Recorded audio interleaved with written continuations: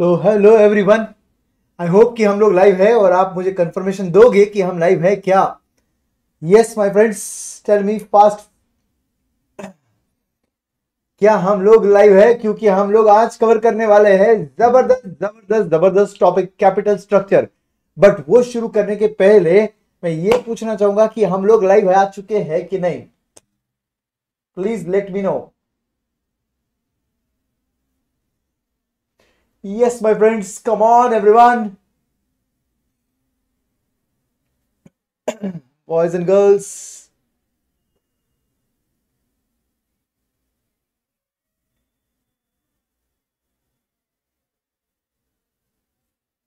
Come on, everyone, live and live. Are we live? Are we live, my friends?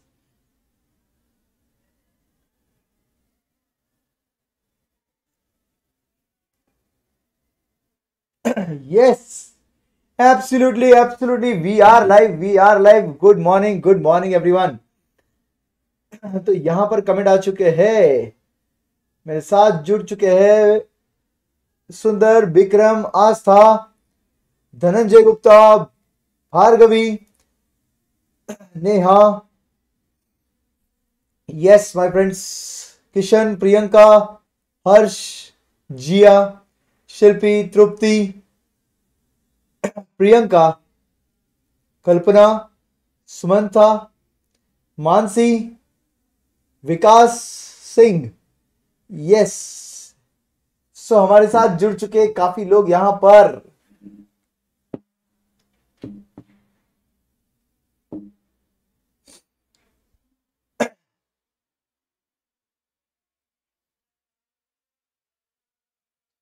Sumant Paul Singh, आज एकदम माहौल गर्म कर दो, ज़बरदस्त होगा mission series. No doubt about it ज़बरदस्त ज़बरदस्त होगा mission series.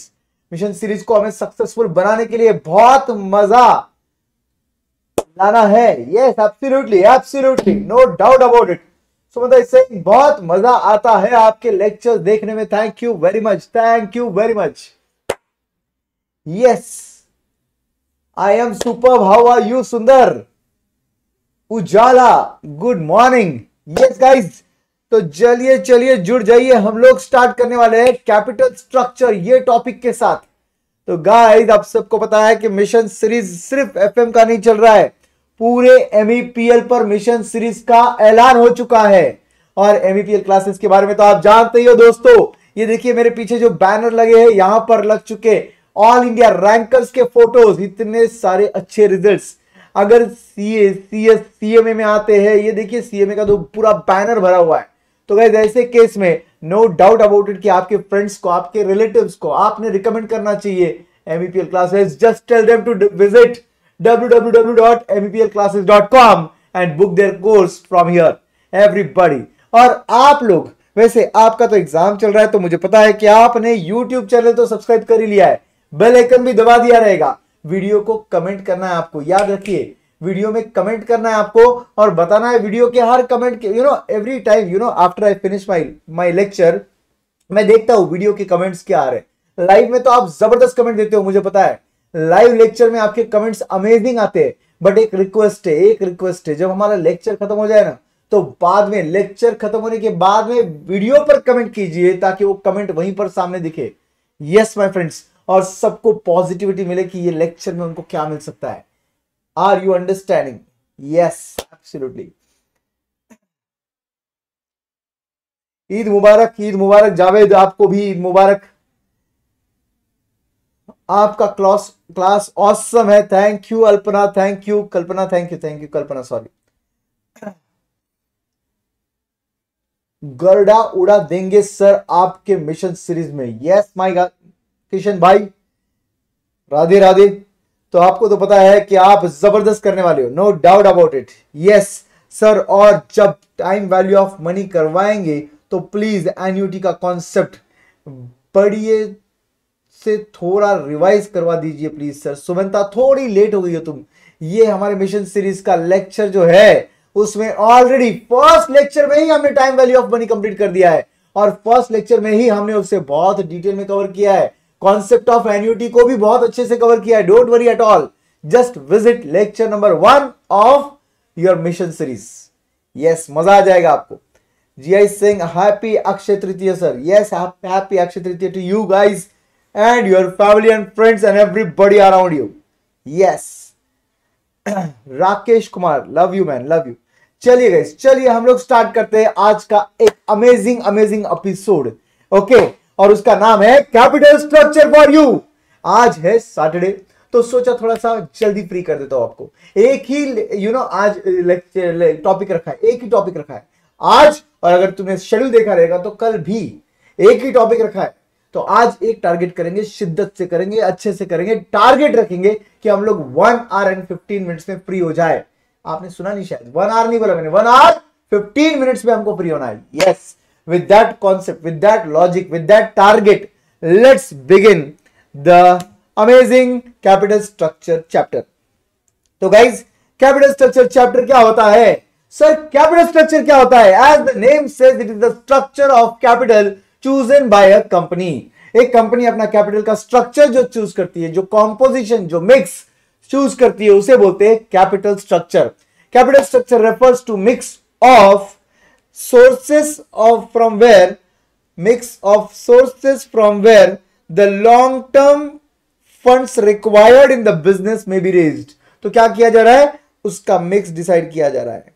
Mix of sources कौन सी चीज़ का? लॉन्ग टर्म फंड्स का दोस्तों बिज़नेस में लगने वाले लॉन्ग टर्म फंड्स का जो मिक्स होता है, जो कंपोजिशन होता है, उसी को हम बुलाते हैं capital structure okay guys in other words it refers to the proportion of debt preference and equity in your capital देखिए, दो टर्म ध्यान से सुनिए दोस्तों। दो टर्म बहुत अच्छे से सुनिए।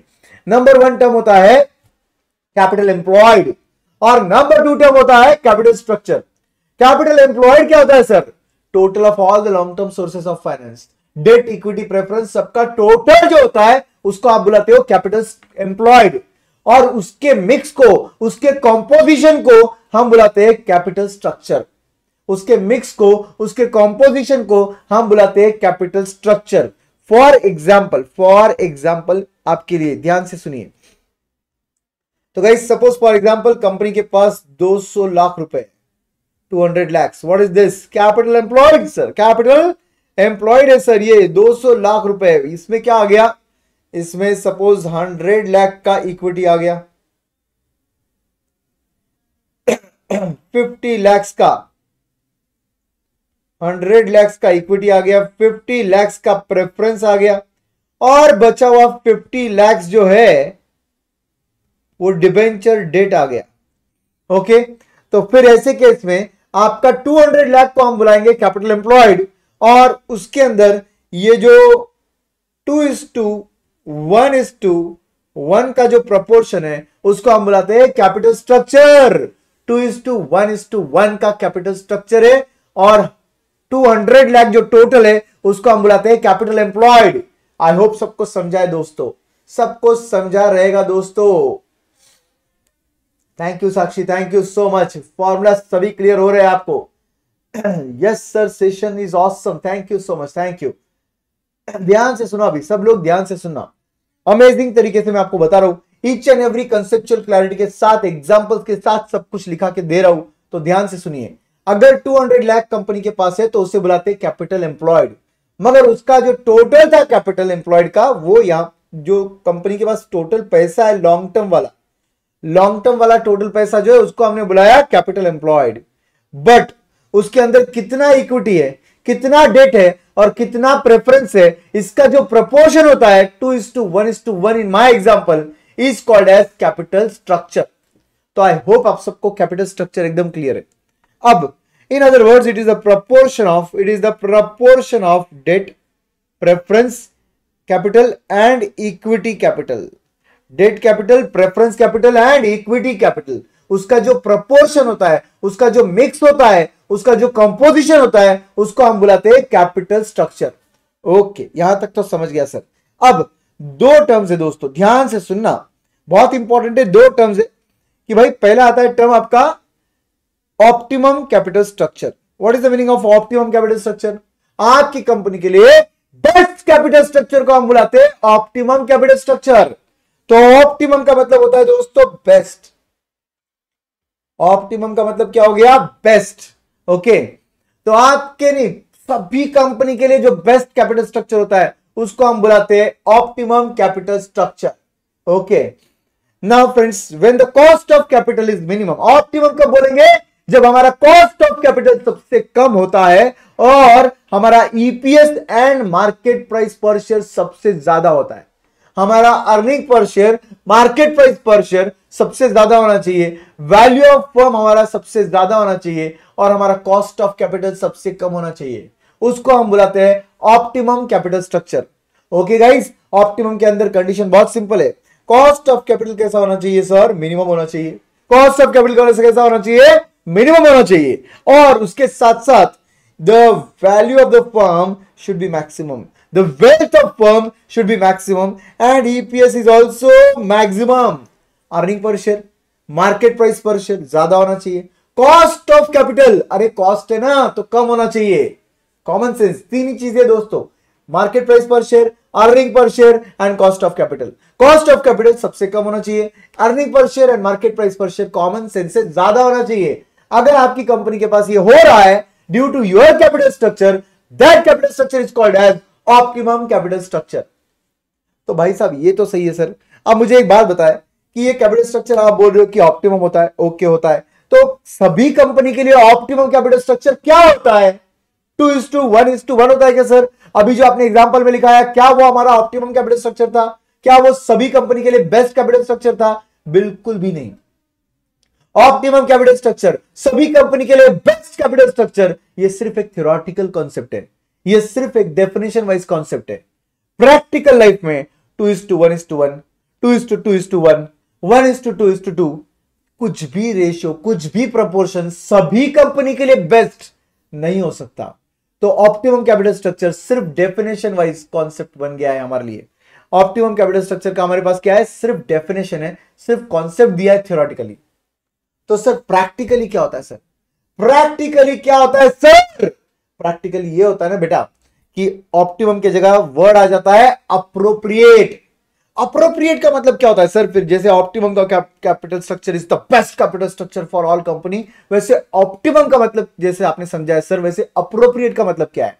अप्रोप्रिएट मतलब बेस्ट फॉर योर कंपनी ये कंपनी टू कंपनी डिफर करेगा। जो तेरे कंपनी के लिए बेस्ट है, उसको तू बुला ले अप्रोप्रिएट कैपिटल स्ट्रक्चर जो सबके लिए बेस्ट है तो उसे बुला ले optimum capital structure optimum capital structure सिर्फ़ थियोरटिकल कॉन्सेप्ट है डेफिनेशन याद रखो खेल खत्म। But appropriate capital structure real life में यूज़ होता है। ये देखिए लिखा है इन रियल लाइफ तो हर कंपनी का अप्रोप्रिएट कैपिटल स्ट्रक्चर डिफर करेगा company to company industry to industry okay तो आपकी कंपनी के लिए रियल लाइफ में जो बेस्ट होता है, उसको बोलते हैं अप्रोप्रिएट उसके अंदर मेजरली पाँच ही फीचर आने चाहिए दोस्तों। पाँच फीचर कौन से आने चाहिए, सर? आपका कैपिटल स्ट्रक्चर प्रॉफिटेबल होना चाहिए, नंबर वन। आपका कैपिटल स्ट्रक्चर क्या होना चाहिए? प्रॉफिटेबल होना चाहिए, सर। वो क्या होता है, सर? प्रॉफिटेबल मतलब क्या, सर? प्रॉफिटेबल मतलब प्रॉफिटेबल मतलब return on investment should be more than cost of capital return on investment should be more than cost of capital अगर cost of capital let's say for example 12 percent है। आपकी company का weighted average cost of capital जिसको कल ही हमने पढ़ा था back weighted average cost of capital अगर 12 परसेंट है तो आपकी कंपनी ने अर्न करना चाहिए return 19 percent twenty percent twenty five percent. उसको हम बुलाते हैं profitable capital structure I hope सबको एकदम क्लियर है प्रॉफिटेबिलिटी क्या होता है। प्रॉफिटेबिलिटी मतलब मेरा अर्निंग ज़्यादा होना चाहिए, मेरा कॉस्ट ऑफ़ कैपिटल कम होना चाहिए। कॉमन सेंस है। मेरी कंपनी में 200 लाख रुपए मैंने लाया है। उसे इन्वेस्ट कर कर मैं कमा रहा हूँ 20 परसेंट और उसका कॉस्ट मैं बेयर कर रहा हूँ 12 परसेंट वेरी गुड सर मैं उस पर कमा रहा हूँ 13 परसेंट मैं उसका कॉस्ट बेयर कर रहा हूँ 15 percent very bad cost bear कर रहे हो 15 परसेंट फिफ्टीन परसेंट और कमा रहे हो 13 परसेंट कैसे चलेगा भाई? कमाओ तुम 20 परसेंट कॉस्ट पे करो 12 परसेंट तेरह परसेंट चलेगा। Your return should be more and your cost should be less that is called profitability okay guys बढ़िया है। Yes absolute thank you so much यार, Sumant. Thank you so much ऐसी थोड़ी आपको एफ़ एम किंग बोलते हैं, सब सच में हो आप king thank you so much आपका प्यार है बच्चा लोग, सबका इसी वजह से ये सब दर्जे मिलते हैं। अब फोकस कीजिए ताकि ये कॉन्सेप्ट में भी हम प्रूव कर ले कि आप और हम एकदम तोड़ है। आप और हम नेक्स्ट लेवल है, ठीक है? तो आप और हम मिलकर किंगडम बनाएँगे ओके पूरा का पूरा ध्यान चैप्टर पे डाल देंगे दोस्तों। ध्यान से सुनो अप्रोप्रिएट कैपिटल स्ट्रक्चर में पहला कॉन्सेप्ट आता है प्रॉफिटेबिलिटी मैंने आपको डिटेल में बता दिया प्रॉफिटेबिलिटी क्या होता है। अब सेकंड कॉन्सेप्ट आ रहा है फ्लेक्सिबिलिटी आपका कैपिटल स्ट्रक्चर फ्लेक्सिबल होना चाहिए। जब जब पैसा रेज करना है रेज करने का परमिशन होना चाहिए। जब जब पैसा रीपे करना है रीपे करने का भी फ्लेक्सिबिलिटी होनी चाहिए। इसका मतलब इंक्रीज एंड डिक्रीज का फ्लेक्सिबिलिटी आपके हाथ में होना चाहिए। तो फ्लेक्सिबिलिटी किस एंगल से बोला गया है? इंक्रीज ऑब्लिक डिक्रीज के एंगल से बोला गया है। आपका कैपिटल आप चाहो तब इंक्रीज कर दो, आप चाहो तब डिक्रीज कर दो। That is called as flexibility जो आपके कैपिटल स्ट्रक्चर में हो। अगर होगी तो उसको हम बुलाते हैं appropriate capital structure condition number two condition number one क्या था sir profitability condition number two क्या था sir flexibility condition number three क्या है सर कंजर्वेशन कंजर्वेशन मतलब सर कंजर्वेटिव होना है। Yes yes! किसके बारे में कंजर्वेटिव होना है सर रिस्क के बारे में। रिस्क कौन सा कैपिटल लाता है बच्चा लोग? रिस्क लाता है डेट कैपिटल। तो डेट कैपिटल तुम्हारे पास कम होना चाहिए। कंजर्वेशन बोलता है, debt capital should not exceed a limit. Should not exceed a limit. उसको बोलते हैं कंजर्वेशन। अगर अडानी कंपनी थोड़ा कंजर्वेशन रखता तो बेटर होता, क्योंकि अडानी कंपनी ने अपना डेट कुछ ज़्यादा ही बढ़ा दिया था। Yes my friends so conservation वहाँ पर पिक्चर में आता है। कंजर्वेशन बोलता है डेट जो है वो कम होना चाहिए। डेट एक लिमिट के नीचे होना चाहिए। उसको बोलते हैं कंजर्वेशन यस माय फ्रेंड्स उसके बाद आता है सॉल्वेंसी आपका जो अप्रोप्रिएट कैपिटल स्ट्रक्चर होता है, वो आपकी कंपनी के सॉल्वेंसी को प्रोटेक्ट करके रखना चाहिए। सर सॉल्वेंसी को प्रोटेक्ट करना है तो क्या करना है? इसका मतलब तेरी कंपनी का रिस्क बैलेंस करके चलना चाहिए। उसके लिए वापस से कंडीशन वही आ गई है। कंजर्वेशन फॉलो करना चाहिए। सॉल्वेंसी का मतलब होता है डेट को एक लिमिट के आगे मत बढ़ाओ क्योंकि डेट जब ज़्यादा बढ़ जाता है तो सॉल्वेंसी खतरे में आ जाती है। अडानी के केस में हमने देखा ही है सो so, सॉल्वेंसी को क्या करना है हमें? प्रोटेक्ट करके रखना है। और उसके लिए क्या करना पड़ेगा दोस्तों? उसके लिए डेट को फिर से एक लिमिट के नीचे ही रखना पड़ेगा। That is called as solvency protect करके रखना। And last one is called as control control का मतलब होता है voting power voting power dilution एक लिमिट तक करना चाहिए, जहाँ तक रियल ओनर्स के पास वोटिंग पावर होती है। आज हम लोग बोलते हैं रिलायंस किसकी कंपनी है? अडानी की सॉरी रिलायंस किसकी कंपनी है? अंबानी की कंपनी है। ओके रिलायंस किसकी कंपनी है? अंबानी की क्यों भाई? मेरी भी कंपनी है। मेरे पास रिलायंस के दस शेयर है। तो मेरी कंपनी होगी रिलायंस आप बोल रहे हो, सर, क्या मज़ाक कर रहे हो? सर, दस कम, दस शेयर से कुछ नहीं होता, सर। किसने बोला नहीं होता है? दस शेयर मेरे पास है, मेरे पास दस शेयर का वोटिंग पावर है। मगर वो अलग बात है कि दस शेयर रिलायंस के टोटल शेयर्स के zero point zero zero zero zero zero zero कितने परसेंट रहेंगे पता नहीं। ओके मुकेश अंबानी की वो कंपनी है रिलायंस इंडस्ट्रीज़ बिकॉज़ उनके पास मैक्सिमम स्टेक है, उनके फैमिली के साथ मिलकर उनके पास जो है मैक्सिमम स्टेक है। तो ये स्टेक डायल्यूट नहीं होना चाहिए। ओके आप 100 परसेंट शेयर तो नहीं रख सकते हो कंपनी के, मगर कम से कम 50 एंड अबाउट रख सकते हो। तो उसको बोलते हैं कंट्रोल कंट्रोल मतलब होता है वोटिंग पावर तो कंपनी का वोटिंग पावर जो है, वो डायल्यूट एक लिमिट तक ही करना चाहिए। उससे बुलाते हैं उसे बुलाते हैं control yes my friends absolutely समझा यहाँ तक? तो कितने कंसेप्ट हो गए, कितने कंसेप्ट हो गए आपके पास, आपके अप्रोप्रिएट कैपिटल स्ट्रक्चर में? नंबर वन प्रॉफिटेबिलिटी रिटर्न ज़्यादा होनी चाहिए कॉस्ट कम होना चाहिए। नंबर टू फ्लेक्सिबिलिटी जब चाहे तब। इंक्रीज कर दो, जब चाहे तब डिक्रीज कर दो। Number three conservation debt debt को एक लिमिट के नीचे ही रखो। नंबर फोर सॉल्वेंसी को प्रोटेक्ट करके रखो। उसके लिए वापस से कंजर्वेशन ही फॉलो करना पड़ेगा तुझे। और last last is control control एक लिमिट तक ही डायल्यूट करो। उससे आगे कंट्रोल डायल्यूशन करोगे तो मुश्किल हो जाएगी क्योंकि आपकी वोटिंग पावर डायल्यूट हो जाएगी। सच में रिलायंस अगर पब्लिक लिमिटेड कंपनी होती मतलब आज रिलायंस के अंबानी के पास शेयर्स अगर मैक्सिमम नहीं होते आज अंबानी अगर रिलायंस का decision maker whole and sole decision maker नहीं होता, और सच में एजीएम में पब्लिक आकर रिलायंस के फैसले करती रिलायंस के लिए क्या अच्छा है, क्या बुरा है पब्लिक डिसाइड करती तो सच में रिलायंस डूब जाता। यस माय फ्रेंड्स आपने सही सुना रिलायंस डूब जाता बिकॉज़ कोई ना कोई एक्सपर्टीज दिमाग होना चाहिए पीछे, जिनका वोटिंग पावर ज़्यादा है, और वो कंपनी के लिए अच्छे फैसले ले रहा है। इसलिए बोलते हैं कंट्रोल एक लिमिट तक ही डायल्यूट होना चाहिए। अंबानीज, बिरलाज, टाटाज, अदानीज ये सब लोगों ने क्या किया है? कंपनी का मैक्सिमम स्टेक खुद के पास रखा है। इसलिए ये कंपनी इतनी वेल नोन कंपनी है। यस फ्रेंड्स नाउ यहाँ पर फाइव सर कॉन्सेप्ट है sir PF C S C ये बोल रहा है P F C S C what is P F C S C is profitability flexibility conservation solvency and control okay guys तो ये था आपका optimum and appropriate capital structure ऐसे बहुत से फैक्टर्स होते हैं दोस्तों जो आपकी कंपनी के कैपिटल स्ट्रक्चर डिसाइड करने के वक्त आपने देखने चाहिए। जैसे कि पहला फैक्टर होता है दोस्तों आपका नेचर ऑफ़ इंडस्ट्री अगर अपना नेचर ऑफ़ इंडस्ट्री हमारा स्मॉल स्केल रहेगा तो बेटर रहेगा कि तू इक्विटी पर रिलाय कर ले। क्यों सर डेट कोई देगा नहीं तुझे, क्योंकि कंपनी बड़ी कंपनी नहीं है। बैंक कंफर्टेबल नहीं रहेगा लोन देने में, इसलिए small companies they maximally rely on equity sir equity उनके पास अगर नहीं रहेगा तो तो loan from friends and relatives ले सकता है, मगर बैंक लोन नहीं देगा आसानी से।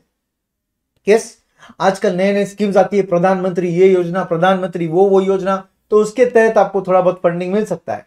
बट मैक्सिमम फंडिंग आपको खुद की जेब से ही करनी पड़ेगी, जब आपकी कंपनी स्मॉल स्केल कंपनी होगी तब।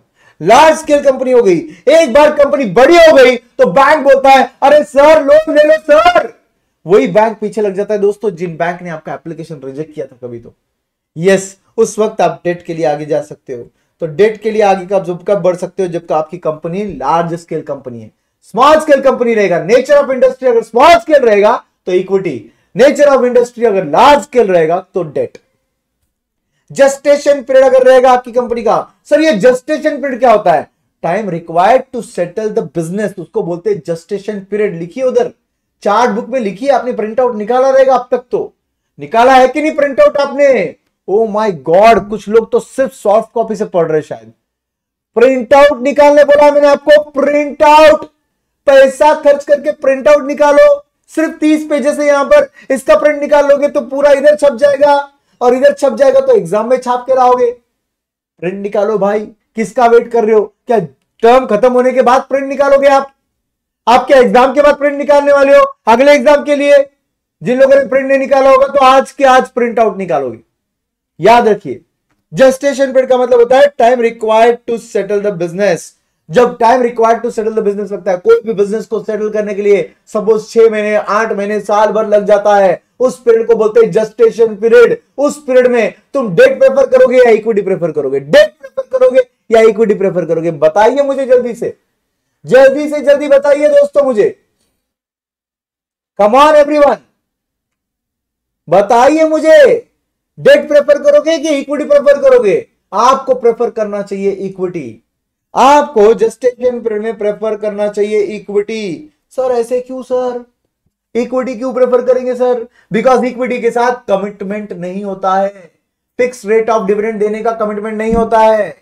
याद रखिए, अगर आप डेट इश्यू कर लोगे तो आपको फिक्स रेट ऑफ़ डिविडेंड देना पड़ेगा इंटरेस्ट देना पड़ेगा। फिक्स रेट ऑफ़ इंटरेस्ट कैसे दोगे आप? आपका तो बिज़नेस अभी तक सेटल हो रहा है ना? तो फिक्स रेट ऑफ़ इंटरेस्ट कैसे दोगे आप? Yes my friends very good answer equity equity बोल रहे सब लोग. वेरी गुड तीसरा पॉइंट बोलता है सर्टेनिटी ऑफ़ प्रॉफिट अगर तेरे बिज़नेस में सर्टेनिटी लेवल प्रॉफिट का ज़्यादा रहेगा तो डेट ले। अगर तेरे बिज़नेस में सर्टेनिटी ऑफ़ प्रॉफिट कम रहेगा ना तो इक्विटी के लिए जा। वापस से लॉजिक वही है। डेट के साथ कमिटमेंट आ जाता है फिक्स रेट ऑफ़ इंटरेस्ट का। इक्विटी के साथ डिविडेंड का कमिटमेंट नहीं होता है। तो अगर तेरा सर्टेनिटी लेवल मोर है तो ही डेट के लिए जा। प्रॉफिट का सर्टेनिटी लेवल ज़्यादा है। फॉर एग्ज़ाम्पल आप पेट्रोल पंप का बिज़नेस खोल रहे हो। सर्टेनिटी लेवल तो है ही बिज़नेस अच्छा चलेगा। पेट्रोल डीजल बिकेगा भाई, कहीं पर भी खोल लो, बिक जाएगा। बट कहीं आप बड़ा मॉल खोल रहे हो। कहीं आप बड़ा कोई फ़ैशन क्लोथिंग गारमेंट का एक नया शॉप खोला आपने no doubt there is less certainty compare to petrol pump और ऑब्वियसली बात है सर्टेनिटी अगर कम रहेगा तो फिर कमिटमेंट कैसे ले पाओगे? कमिटमेंट अगर नहीं लेना है तो क्या करना पड़ेगा? इक्विटी के साथ आगे बढ़ना पड़ेगा। कमिटमेंट नहीं रहेगा वहाँ पर। मगर डेट है तो कमिटमेंट आ गया। Yes my friends Nitesh thank you so much Nitesh thank you so much चलिए फोकस करते हैं। यहाँ पर बोला गया है सर्टेनिटी ऑफ़ प्रॉफिट्स मोर रहेगा तो डेट लेंगे लेस रहेगा तो इक्विटी लेंगे. Okay guys next is quantum of ROI अभी अभी बात किया था प्रॉफिटेबिलिटी के बारे में. तो अगर क्वांटम ऑफ़ आरओआई देखेगा नहीं तो फिर डिसाइड कैसे कर पाएगा? तेरा रिटर्न अगर 12 परसेंट है तो देख पहले रिटर्न कितना आ रहा है. और फिर डिसाइड कर कैपिटल स्ट्रक्चर में कॉस्ट ऑफ़ कैपिटल कितना रखना है. क्योंकि 12 से कम का कॉस्ट ऑफ़ कैपिटल चाहिए फिर. अगर रिटर्न तुम्हारा 12 परसेंट है तो 12 से कम का कॉस्ट ऑफ़ कैपिटल चाहिए. तो बाय डिफ़ॉल्ट आर पे नज़र जाना चाहिए। मतलब quantum of R should be compared with cost of funds and obviously बात है भाई कॉस्ट ऑफ़ फंड्स कम होना चाहिए और क्वांटम ऑफ़ आर ज़्यादा होना चाहिए। यस yes, तो यहाँ पर लिखा है दोस्तों R Y should be compare with cost cost should be less R Y should be more cost should be less R Y should be more as simple as this then दोस्तों आता है आपका lending policy of bank bank कभी कभी weird behave करता है। Bank बोलता है लोन ले लो लोन ले लो लोन ले लो। कभी बैंक बोलता है लोन मांगने बताना आरबीआई ने अलाउ नहीं किया। बहुत लोन नहीं देते हम लोग। हम लोग कम से कम लोन देने वाले कभी कभी बोलते हैं लोन ले लो सर बहुत फंडिंग रिक्वायरमेंट है तुम्हारी कंपनी के लिए। बैंक रेडी है ना? हमारी बैंक है तो चिंता किस बात की है? लोन ले लो सर कभी कभी तो एकदम लिबरल है। कभी कभी तो एकदम स्ट्रिक्ट है। डिपेंड करता है आरबीआई ऊपर से क्या बोल रहा है? ऊपर से अगर अगर आरबीआई बोल रहा है एक्सपांशनरी पॉलिसी तो ये लोग बोलते हैं लोन ले लो सर लिबरल पॉलिसी उस वक्त तुमने डेट बढ़ाना चाहिए डेट लेना चाहिए बिकॉज़ बैंक पीछे पड़ा है, इसका मतलब डेट लेने का कॉस्ट कम है हैसल कम है इजीली लोन मिल जाएगा। टाइम पे पैसा तेरे बैंक अकाउंट में आ जाएगा, तेरा बिज़नेस आगे बढ़ पाएगा। इसलिए लिबरल पॉलिसी रहेगा आरबीआई एक्सपांशनरी पॉलिसी फॉलो कर रहा है, तब तुमने लोन लेना चाहिए। बट आरबीआई कॉन्ट्रैक्शनरी पॉलिसी भी फॉलो करता है डिपेंड करता है इन्फ्लेशन कैसा है। तो आरबीआई अगर बैंक्स को बोल रहा है लोन कम करो तो बैंक तुमको बोलता है लोन मांगने मत आना भाई, बहुत तंगी है। उस वक्त बैंक क्या कर रहा है? स्ट्रिक्ट क्रेडिट पॉलिसी फॉलो कर रहा है। उस वक्त तुमने डेट को क्या करना चाहिए? कम रखना चाहिए, क्योंकि डेट का कॉस्ट ज़्यादा रहेगा। डेट टाइम पर मिलेगा नहीं। हैसल फ्री तो बिल्कुल नहीं मिलेगा। बहुत तकलीफों को झेलने के बाद पैसा देगा बैंक ऐसे केस में स्ट्रिक्ट अगर डेट रहेगा ना तो डेट नहीं चाहिए। लिबरल रहेगा ना तो हम डेट लेंगे। Yes yes my friends lastly monetary and physical policy of government monetary policy तो आरबीआई का होता है सर यस बिल्कुल सही है. फ़िज़िकल पॉलिसी के बारे में बात चल रही है गवर्नमेंट का होता है. फ़िज़िकल पॉलिसी के बारे में बात चल रही है, जो गवर्नमेंट का होता है. और आरबीआई का होता है मॉनिटरी पॉलिसी अभी अभी अपन बात किया आरबीआई के बारे में. या तो एक्सपांशनरी पॉलिसी फॉलो करेगा, या तो कॉन्ट्रैक्शनरी फॉलो करेगा. अगर एक्सपांशनरी करेगा लोन देते ही जाएगा, देते ही जाएगा बैंक के थ्रू आप ले लेना उस वक्त.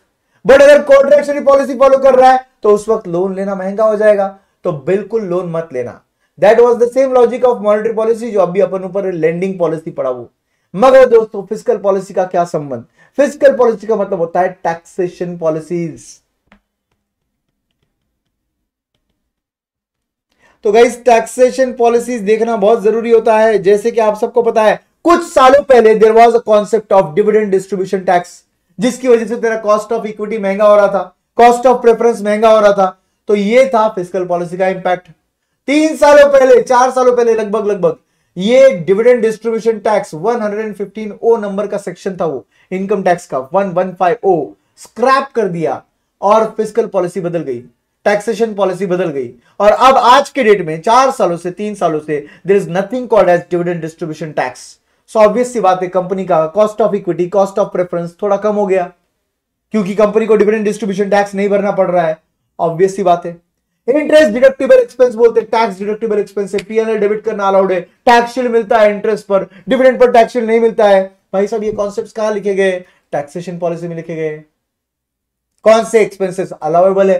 कौन से एक्सपेंसेस डिसअलाउेबल है? ये सब टैक्सेशन पॉलिसी में लिखा गया है। तो अगर तू फंड रेजिंग कर रहा है तो पहले टैक्सेशन पॉलिसी क्लियर रहे। पहले समझ ले तेरी कंपनी के लिए कौन से एक्सपेंसेस डिडक्टिबल है और कौन से एक्सपेंसेस नॉन डिडक्टिबल है। That is called as taxation policy which is physical policy sir loan मांगने गए थे बैंक में, पढ़ाई के लिए भगा दिया, नहीं दिया। किशन भाई, एक दिन तू पढ़ ले और बैंक तेरे पास आएगा लोन ले लो बोलेगा, तू भगा दे, मत लेना। ये होता है बदला। पढ़, इतना पैसा कमा कि बैंक बोलेगा लोन ले लो, तू बोलने का नहीं चाहिए। और वो सब पॉसिबल है। इस पढ़ाई के पावर से। पढ़ाई के लिए लोन मांगा था ना? नहीं दिया ना? अब पढ़कर ही पैसा कमाएँगे। याद रखना ये बात। Yes now friends coming to main consideration ये जो कंसिडरेशन पड़े थे, ये तो कंसिडरेशन है ही। कितने कंसिडरेशन है ये? One two three four five six excuse me sorry but last consideration है कंसिडरेशन नंबर सेवन जिसको बोलते हैं मेजर कंसिडरेशन मेजर कंसिडरेशन क्या है? इसके बारे में ऑलरेडी हमने चैप्टर वन में बात कर लिया था.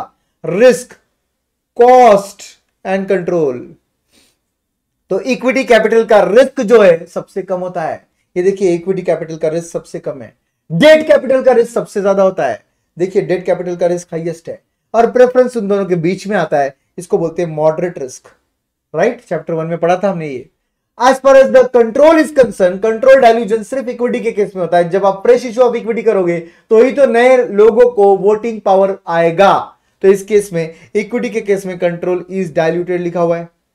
कंट्रोल इज़ डायल्यूटेड लिखा हुआ है। प्रेफरेंस के केस में कंट्रोल डायल्यूट नहीं होता है। डेट के केस में कंट्रोल डायल्यूट नहीं होता है। क्योंकि preferential holders and debenture holders को वोटिंग पावर नहीं होती है।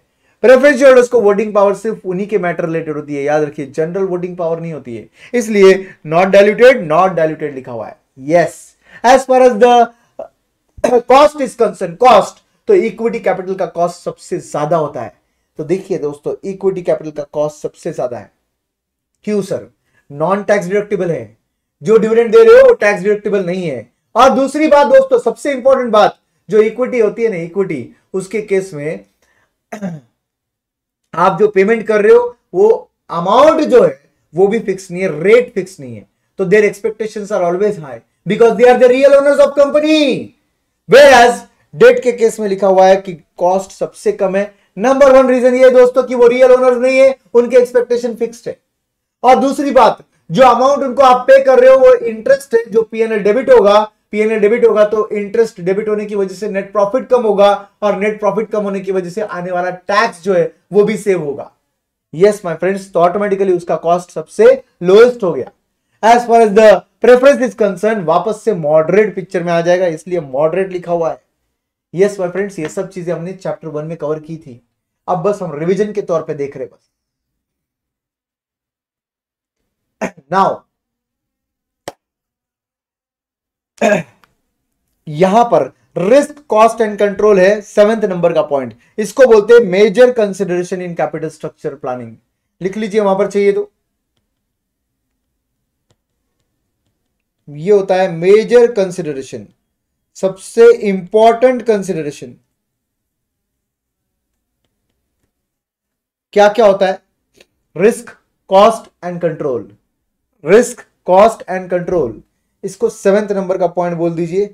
Major consideration in capital structure planning major consideration in capital structure planning risk cost and control very good guys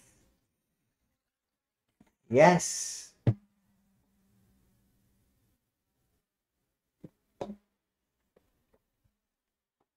अब आते हैं आगे।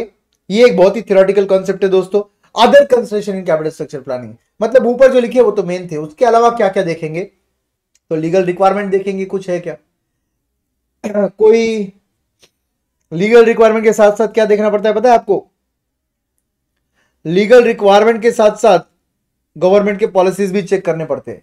लीगल रिक्वायरमेंट मतलब आप सबने लॉ में पढ़ा रहेगा कि डिविडेंड कब बांट सकते, कब नहीं बांट सकते।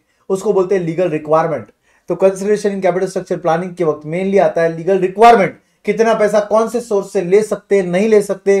There are various section which allows you certain capital which allows you certain which doesn't allow you certain capital तो ऑब्वियसली आपको लीगल कंसिडरेशन देखना होता है। ट्रेडिंग ऑन इक्विटी का मतलब होता है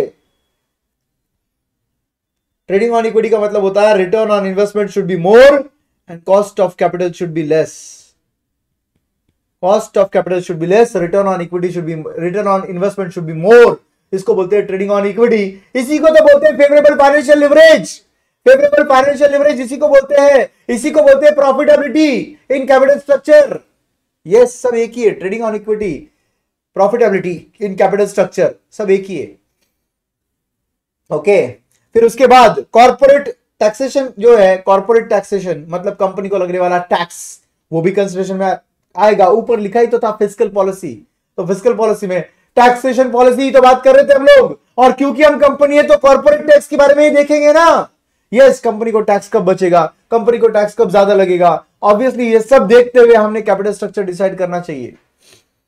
गवर्नमेंट के पॉलिसीज़ को देखना चाहिए। कब गवर्नमेंट हमको अलाउ करता है डिवेंचर इश्यू करने के लिए, कब हमको गवर्नमेंट अलाउ नहीं करता है, ये सब देखना चाहिए हमने। और गवर्नमेंट पॉलिसीज़ को इग्नोर करना नहीं चाहिए। कभी कभी गवर्नमेंट पॉलिसीज़ एनकरेजिंग होती है कभी कभी गवर्नमेंट पॉलिसी डिस्करेजिंग होती है। तो ऑब्वियसली बात है, हमने मेजर मेजरली ये भी चीज़ें देखना चाहिए गवर्नमेंट पॉलिसी वगैरह। पीरियड ऑफ़ फाइनेंस देखना चाहिए कि हमें शॉर्ट टर्म के लिए पैसा चाहिए कि लॉन्ग टर्म के लिए चाहिए। अगर शॉर्ट टर्म के लिए पैसा चाहिए तो शॉर्ट टर्म सोर्सेस से लेना चाहिए। लॉन्ग टर्म के लिए पैसा चाहिए तो लॉन्ग टर्म से लेना चाहिए। फॉर एग्ज़ाम्पल मैं आपको समझाता हूँ। I want to buy machinery जिसका लाइफ है एट ईयर्स मशीनरी बाय करना है भाई। आठ साल का लाइफ है। बैंक बोल रहे लोन ले लो सर। एक करोड़ का मशीन है, हम एक करोड़ पूरा दे देंगे। कंडीशन एक है सर, दो सालों में पैसा रीपे करना पड़ेगा। मशीन का लाइफ कितना था? आठ साल। बैंक कितना लोन दे रहा है? दो साल। मत लेना। तेरा यूटिलाइजेशन कितना है? लॉन्ग टर्म के लिए। और तुझे लोन कौन सा मिल रहा है? शॉर्ट टर्म मत लेना, डूब जाएगा कंपनी क्यों सर? आठ सालों में जो जो आठ सालों के लिए जो पैसा इन्वेस्ट करोगे तुम, तुम्हें क्या लगता है? दो सालों में तुम्हारा पूरा मशीनरी का कॉस्ट रिकवर होने वाला है क्या? पॉसिबल ही नहीं है। तो कभी भी अगर पैसा लॉन्ग टर्म के लिए इन्वेस्ट करना था आठ आठ सालों के लिए तो लोन भी तो लॉन्ग टर्म लेना चाहिए था। और अगर पैसा शॉर्ट टर्म के लिए वर्किंग कैपिटल के लिए इन्वेस्ट करना है तो दो सालों का लोन ले लो। समझा? तो शॉर्ट टर्म लोन लोगे शॉर्ट टर्म जगह इन्वेस्ट करो। लॉन्ग टर्म लोन लोगे लॉन्ग टर्म की जगह इन्वेस्ट करोगे। That is the whole logic Bhavika, sir, theory कहाँ से करे, सर? भाविका, थ्योरी हम यहाँ से कर रहे हैं। तुम भी यहीं से कर लो थ्योरी। ये तुम्हारा शॉर्टकट थ्योरी है। तीस पेजेस में सब कुछ कवर होगा प्रैक्टिकल भी और थ्योरी भी। बट अगर तुम्हें डिटेल थ्योरी करनी है तो फिर ऑब्वियसली तुमको स्टडी मैट रेफर करना पड़ेगा, या तो मेरा टेक्स्ट बुक रेफर करना पड़ेगा। Yes then nature of investors investors कैसे? पुअर है या रिच है?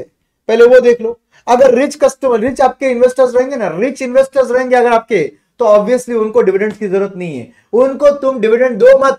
उसका पैसा तुम रिटेन करते जाओ रिटेन करते जाओ रिटेन करते जाओ और री इन्वेस्ट री इन्वेस्ट करो बिज़नेस में री इन्वेस्ट करो री इन्वेस्ट करो और फटाफट ग्रोथ लाओ ग्रोथ लाओ ग्रोथ लाओ बिकॉज़ ग्रोथ का फॉर्मूला था B into R B into R क्या होता है sir retention into I R R is called as growth growth का फॉर्मूला क्या होता है? यहाँ पर मैं लिख रहा हूँ आपकी जानकारी के लिए। Growth is B into R तो जितना तू रिटेन करेगा मतलब बी जितना ज़्यादा रहेगा, उतना तेरा ग्रोथ भी ज़्यादा होगा, उतने शेयर प्राइस बढ़ेंगे फटाफट फटाफट। और कंपनी का पैसा इन्वेस्टर का पैसा फटाफट बढ़ेगा। अगर वो कंपनी के इन्वेस्टर्स रिच रहेंगे डिविडेंड मत देना, उनका कैपिटल अप्रिसिएशन करते जाना। क्यों सर उससे क्या होगा? एक तो डिविडेंड देगा तो इनकम फ्रॉम अदर सोर्स में चार्ज होगा थर्टी परसेंट के ऊपर सरचार्ज सुपर सरचार्ज क्या क्या लगेगा पता नहीं उनको। और अगर तुमने डिविडेंड नहीं दिया तो ये सब उनको नहीं लगेगा।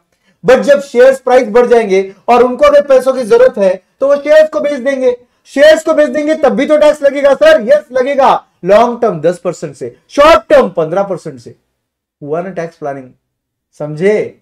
अगर पुअर आपके पुअर है इन्वेस्टर आपके पुअर है तो उनको लाइवलीहुड के लिए ब्रेड एंड बटर के लिए ऑब्वियसली उनको इनकम की ज़रूरत होती है। उस वक्त तुमने डिविडेंड देना चाहिए। बट अगर तुम्हारे इन्वेस्टर्स रिच है तो डिविडेंड देने की ज़रूरत नहीं है. Right right? तो नेचर ऑफ़ इन्वेस्टर्स पे डिपेंड करता है. आप इक्विटी से पैसा कितना रेस करोगे डेट से पैसा कितना रेस करोगे, सब कुछ. उसके बाद next is size of company अभी अभी ऊपर अपन ने बोला स्मॉल स्केल या अपन ने बोल दिया लार्ज स्केल स्मॉल स्केल रहेगा इक्विटी ले लो बैंक के पास मत जाना. लार्ज स्केल रहेगा बैंक के पास जा सकते हो लोन ले लो. ऊपर बात किया था अपन size of company timing of approach बहुत मैटर करता है दोस्तों। आप बुलिश मार्केट में टारगेट कर रहे हो न्यू इक्विटी शेयर्स के लिए या बेरिश मार्केट में कर रहे हो? मार्केट बुलिश है या बेरिश है? बहुत इंपॉर्टेंट है। अगर मार्केट बुलिश है उड़ता उड़ता, ऊपर बढ़ता बढ़ता मार्केट है, उस वक्त कोई भी कंपनी रहने दो आईपीओ बिक जाते एरी गेरी कंपनी के भी आईपीओ बिक जाते हैं। तो टाइमिंग सही होना चाहिए आपका। और अगर मार्केट बेरिश है तो आईपीओ मत लाना, क्योंकि सब्सक्रिप्शन खतरे में आ जाएगा। Yes my friends so timing is very important bullish market में कभी भी शेयर्स इश्यू करना चाहिए बेरिश मार्केट में नहीं करना चाहिए। रीजन बहुत सिंपल है इन्वेस्टर्स का अधिकतर पैसा ऑलरेडी लॉस में और तुम ला रहे हो नया आईपीओ बोल रहे हो इसमें भी इन्वेस्ट करके और पैसा कमा दो। क्यों इन्वेस्ट करेंगे वो लोग? अगर मार्केट बुलिश है तो ऑलरेडी उनका पैसा डबल ट्रिपल हो चुका है। और तुम बोल रहे हो, ये देखो आईपीओ वो बोल रहे चल ला, लगा देते, पैसा इधर भी डबल कर देंगे। माइंडसेट गेम होता है दोस्तों। जब बुलिश मार्केट होता है ना तो पॉजिटिव माइंडसेट होता है। जब बेरिश मार्केट है ना तो नेगेटिव माइंडसेट होता है। Yes so mindset matters a lot so that is called timing of approach manoeuvrability का मतलब होता है ऑप्शंस अगर आप डिवेंचर इशू करना चाहते हो तो ये मत बोलिए डिवेंचर इशू करना है। ये बताइए रेडीमेबल डिवेंचर इशू करना है रेडीमेबल करना है। आपका कन्वर्टेबल डिवेंचर इशू करना है नॉन कन्वर्टेबल डिवेंचर इशू करना है। आपके पास बहुत सारी चॉइसेस है। प्रेफरेंशियल के लिए वापस से रेडीमेबल प्रेफरेंशियल करना है इरेडीमेबल करना है।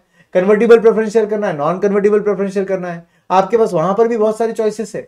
तो आपने देखा है टाइप्स ऑफ़ डिवेंचर्स इतने सारे होते हैं टाइप्स ऑफ़ प्रेफरेंशियल इतने सारे होते हैं। सब ऑप्शंस को इवेल्युएट करने के बाद आपके इन्वेस्टर्स को अच्छा चॉइस दोगे तो आपका सिक्योरिटी इजीली मार्केट में बिक जाएगा और पैसा रेस कर कर ला लोगे। अगर आप ऑप्शन स्टडी करोगे तो सही ऑप्शन पे अराइव करोगे, उसको बोलते हैं मैन्यू वर्नेबिलिटी मैन्यू वर्नेबिलिटी का मतलब होता है ऑप्शन यस व्यापन से बोल रहे सर इन्वेस्टर्स नेचुरली बोथ होंगे ना, सर रिच भी होंगे और पुअर भी होंगे। बिल्कुल नहीं, व्यापन सेठ ऐसा नहीं होता यहाँ पर। ध्यान से सुनिए व्यापन। अगर मेरी कंपनी है एमआरएफ अरे पचासी हज़ार रुपए का शेयर है एटी फाइव थाउज़ेंड का शेयर है। खरीदेगा कौन? रिच मेरा शेयर का प्राइस है eighty rupees eighty five rupees खरीदेगा कौन? रिच पुअर दोनों. आप समझ रहे बात को? तो आपके शेयर प्राइस पे डिपेंड करता है कि आपके शेयर इन्वेस्टर्स जो है, वो रिच कैटेगरी के या पुअर कैटेगरी के। याद रखिए, दो हज़ार, तीन हज़ार, पाँच हज़ार, दस हज़ार, बीस हज़ार, पच्चीस हज़ार पर शेयर रिच लोग ही खरीद सकते हैं पुअर नहीं खरीद सकते। ये मैटर करता है यहाँ पर। इसलिए तो एमआरएफ जो है डिविडेंड देता नहीं है। एमआरएफ ने डिविडेंड दो दो, तीन तीन रुपए दिया है सिर्फ़। Yes. सो so, यहाँ पर बोल रहे कल्पना बोल रहे सर प्रैक्टिकल नहीं होगा ना सर. नहीं कल्पना प्रैक्टिकल भी करा रहा हूँ मैं। As far as discussion sir concern हम लोग प्रैक्टिकल कॉन्सेप्ट भी डिस्कस करेंगे बट सॉल्व नहीं करेंगे। सॉल्व आपको करना होगा स्टडी मैट और कहीं पर भी दिक्कत आती है तो मेरा पिछला marathon part one part two part three refer कर लीजिए। आपका कोई भी डाउट रहेगा सब सॉल्व हो जाएगा प्रैक्टिकल पार्ट की हद तक। यहाँ पर जो है, सिर्फ़ थ्योरी डिस्कस नहीं हो रहा है थ्योरी के साथ साथ प्रैक्टिकल भी डिस्कस हो रहा है। जैसे कि आज ही कवर करने वाले हम लोग अभी दस मिनट बाद NI approach NOI approach MM approach traditional approach ये सब प्रैक्टिकल है। फिर कैपिटल स्ट्रक्चर के क्वेश्चन फिर financial break point indifference point आज के एजेंडा में ये सात चीज़ें बहुत इंपॉर्टेंट है, जो दस मिनट में चालू होने वाली है। दस मिनट भी नहीं, पाँच मिनट में चालू होने वाली है। यस फ्लेक्सिबिलिटी अभी ऑलरेडी कवर किया था हमने। फ्लेक्सिबिलिटी होनी चाहिए आपके अंदर। आप कभी भी इंक्रीज इन कैपिटल कर सकते हो डिक्रीज इन कैपिटल कर सकते हो तो बेस्ट होगा आपके लिए। तो flexibility should be for increase oblique decrease already discussed purpose of financing बहुत इंपॉर्टेंट है। रेवेन्यू जनरेटिंग है, या नॉन रेवेन्यू जनरेटिंग है। अगर नॉन रेवेन्यू जनरेटिंग रहेगा ना तो इक्विटी से पैसा लाना रिज़र्व एंड सरप्लस से पैसा लाना। मेनली रिज़र्व से लाना। इसका फंडिंग कहाँ से करोगे? रिज़र्व से करोगे। और अगर रेवेन्यू जनरेटिंग रहेगा ना तो आप डेट से भी फाइनेंसिंग ला सकते हो। अगर कोई इन्वेस्टमेंट आप कर रहे हो नए फैक्ट्री में, नया कोई आप मशीन मशीनरी बाय कर रहे हो ऑब्वियसली रेवेन्यू जनरेटिंग है, तुम डेट से भी पैसा ला सकते हो। मगर अगर तुम्हें टेंपल बनाना है फैक्ट्री प्रेमाइस में, अगर तुम्हें मेडिटेशन हॉल बनाना है फैक्ट्री प्रेमाइस में, ताकि आपके एम्प्लॉयज़ आपके वर्कर्स को मन की शांति रहे और उनका प्रोडक्टिविटी मैक्सिमम आए। तो ऐसे केस में ना दोस्तों that is called as non revenue generating क्योंकि वहाँ से पैसा आने वाला नहीं है। वहाँ से लोगों को शांति मिलेगी प्रोडक्टिविटी प्रोडक्शन में आएगी, तब पैसा आएगा, उसको रेवेन्यू जनरेटिंग नहीं बोलते। उसको रेवेन्यू जनरेटिंग नहीं बोलते। तो नॉन रेवेन्यू जनरेटिंग आइटम है वो मेडिटेशन हॉल टेंपल ऐसी चीज़ें बनाना। तो ऐसी चीज़ों के लिए कौन सा पैसा यूज़ करोगे? रिज़र्व वाला पैसा यूज़ करो, क्योंकि कमिटमेंट नहीं रहेगा फिर। रिज़र्व नाम से समझता है एक्स्ट्रा पैसा है। वो पैसा वहाँ पे यूज़ कर सकते हो आप। देन फ्यूचर ग्रोथ कैसा है, वो देखकर आप डिसाइड करोगे कि डेट से पैसा लाना है या इक्विटी से पैसा लाना है। अगर फ्यूचर में दो तीन सालों तक तो ग्रोथ कम दिख रहा है तो इक्विटी से पैसा ला लो। तुरंत ग्रोथ दिख रहा है तो डेट से पैसा ला लो। उसको बोलते हैं फ्यूचर ग्रोथ। ओके? फिर आता है रिक्वायरमेंट ऑफ़ इन्वेस्टर्स इन्वेस्टर्स का रिक्वायरमेंट कैसा है? इन्वेस्टर्स को you can say bread and butter के लिए पैसा चाहिए। इन्वेस्टर्स को, आपके इन्वेस्टर्स को इंटरेस्ट है डिविडेंड्स वगैरह में। सॉरी फिक्स्ड इनकम में। आपके इन्वेस्टर्स को इंटरेस्ट है फिक्स्ड इनकम में तो नो डाउट आपने क्या करना चाहिए? डेट इश्यू करना चाहिए। बट आपके इन्वेस्टर्स को इंटरेस्ट है कैपिटल अप्रिसिएशन में। आपके इन्वेस्टर्स को इंटरेस्ट है कैपिटल अप्रिसिएशन में तो उस केस में आपने इक्विटी इश्यू करना चाहिए उनको। तो डिपेंड करता है मार्केट में कैसी पोजीशन है। अगर मार्केट में रिसेशन रहेगा ना तो उनको फिक्स्ड इनकम चाहिए। फिर डेट इश्यू कर देना आप। बट अगर मार्केट में बहुत ज़्यादा you know you can say favourable phase चल रहा है किसी को इनकम रेगुलर इनकम की ज़रूरत नहीं, क्योंकि हर किसी का धंधा अच्छा चल रहा है। हर किसी का बिज़नेस एकदम ज़बरदस्त चल रहा है। तो ऐसे केस में आपने क्या करना चाहिए? आपने कैपिटल अप्रिसिएशन का टारगेट करना चाहिए और इक्विटी इशू करना चाहिए। आपके इन्वेस्टर्स को अगर रेगुलर इन फिक्स्ड इनकम की ज़रूरत नहीं है तो आपने इक्विटी इशू करना चाहिए। कैपिटल अप्रिसिएशन की ज़रूरत है तो इक्विटी इशू करना चाहिए। अगर फिक्स्ड इनकम चाहिए तो डेट इशू करना चाहिए। ओके तो रिक्वायरमेंट ऑफ़ इन्वेस्टर सोचो। फॉर एग्ज़ाम्पल आप मेरे सपोज़ आप मेरी शॉप है रेडीमेड गारमेंट्स की। आप मेरे शॉप पे आए, मुझे बोलते, भैया, एक अच्छा टी शर्ट दिखा दो। और मैंने आपको बोला यस सर और वहाँ गया और जीन्स निकाला और जीन्स दिखाया। सर देखिए फंटास्टिक है। आप बोलोगे ये तो अच्छा है, मगर मुझे टी शर्ट चाहिए। मैंने बोला ओके वहाँ गया, कुर्ता पैजामा निकाला और आपको बता रहा हूँ, ये देखिए, कुर्ता पैजामा। तो आप बोलोगे, क्या पागल सेल्समैन है यार ये? यहाँ इस दुकान से बाहर चलते हैं, दूसरी दुकान से खरीदते हैं। क्यों भाई? रिक्वायरमेंट ऑफ़ कस्टमर नहीं समझ पा रहा हूँ मैं। तो मुझसे आप खरीदोगे नहीं। वैसे ही सेम तरीके से दोस्तों कंपनी होती है कंपनी बेचने वाली शेयर सिक्योरिटीज बेच रही है। और रिक्वायरमेंट ऑफ़ इन्वेस्टर को समझना पड़ता है। अगर इन्वेस्टर्स को लग रहा है रेगुलर सोर्स ऑफ़ इनकम की ज़रूरत है फिक्स्ड इनकम की ज़रूरत है तो ऑब्वियसली डेट इंस्ट्रूमेंट बेचो, जल्दी बिक जाएगा। आप समझ रहे बात को? और वही, कहीं पर भी फिक्स्ड इनकम की ज़रूरत नहीं है लोगों को तो उस केस में मैंने बेचना चाहिए इक्विटी तो रिक्वायरमेंट ऑफ़ इन्वेस्टर समझना बहुत ज़रूरी होता है दोस्तों। समझे? एंड लास्ट आता है मार्केटेबिलिटी मतलब एडवर्टीजमेंट दोस्तों मार्केटेबिलिटी करना आना चाहिए, अपने इंस्ट्रूमेंट्स को बेचने आना चाहिए अपने को. एडवर्टीजमेंट कैंपेन वगैरह रन करो, ज़बरदस्त तरीके से दिलो दिमाग में लोगों के छा जाओ. आपकी सिक्योरिटीज लोगों ने बाय करने के लिए तड़पना चाहिए. बोलना चाहिए, भगवान प्लीज़ कुछ शेयर दे दो आईपीओ में. भगवान, मैंने इतने अप्लाई किए लॉट्स एक लॉट तो लगा दो. ऐसा लोगों ने बोलना चाहिए, इतना क्यूरियोसिटी पैदा कर दो। कैसे होगा? मार्केटेबिलिटी से होगा। यस माय फ्रेंड्स तो marketability very important advertisement very important अगर सिक्योरिटीज बेच रहे हो तो पहले लोगों को तड़पने दो वो सिक्योरिटीज बाय करने के लिए। उसके लिए एडवर्टीजमेंट करो। हवा करो खुद की सिक्योरिटीज की पहले। एक बार मार्केट में हवा हो जाएगी ना तो सब्सक्राइब क्या? ओवर सब्सक्राइब हो जाएगा। दस टाइम बीस time that is called as marketability yes तो ये मेन रिक्वायरमेंट होते हैं दोस्तों। अब अब आते हैं दोस्तों ओवर कैपिटलाइजेशन अंडर कैपिटलाइजेशन बहुत सिंपल भाषा में समझा देता हूँ मैं आपको ओवर कैपिटलाइजेशन क्या होता है और अंडर कैपिटलाइजेशन क्या होता है। अब अगर मेरे पास ज़रूरत से ज़्यादा पैसा है, उसे बोलते हैं ओवर कैपिटलाइजेशन और अगर मेरे पास ज़रूरत से कम पैसा है तो उसे बोलते हैं अंडर कैपिटलाइजेशन अंडरस्टूड क्या बोला सर फिर से एक बार सर? ओवर कैपिटलाइजेशन ज़रूरत से ज़्यादा पैसा है। अंडर कैपिटलाइजेशन अंडर कैपिटलाइजेशन ज़रूरत से कम पैसा याद रखिए अंडर कैपिटलाइजेशन इज़ ओके एक बार का लेस डेंजरस है। ओवर कैपिटलाइजेशन मोर डेंजरस है। देखिए यहाँ लिखा है। Under capitalization should be consider less dangerous but both the situations are bad. And every company should strive to have a proper capitalization मतलब ना अंडर कैपिटलाइजेशन ना over capitalization under capitalization बहुत खतरनाक होता है। कैपिटल स्ट्रक्चर को adjust करना पड़ता है। अंडर कैपिटलाइजेशन बहुत खतरनाक होता है मतलब दोनों खतरनाक होते हैं बट अंडर कैपिटलाइजेशन लेस खतरनाक होता है और ओवर कैपिटलाइजेशन ज़्यादा खतरनाक होता है। ओवर कैपिटलाइजेशन के कंपनी के पास रेमेडी क्या होती है? कंपनी को ज़्यादा पैसा हो चुका है तो बायबैक ऑफ़ शेयर वगैरह करना पड़ेगा।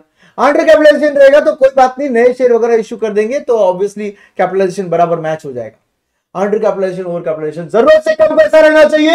अंडर कैपिटलाइजेशन ज़रूरत से ज़्यादा पैसा हो गया ओवर कैपिटलाइजेशन आई होप दोनों टर्म्स एकदम क्लियर है under capitalization and over capitalization अब दोस्तों, आते हैं हम प्रैक्टिकल पार्ट पर।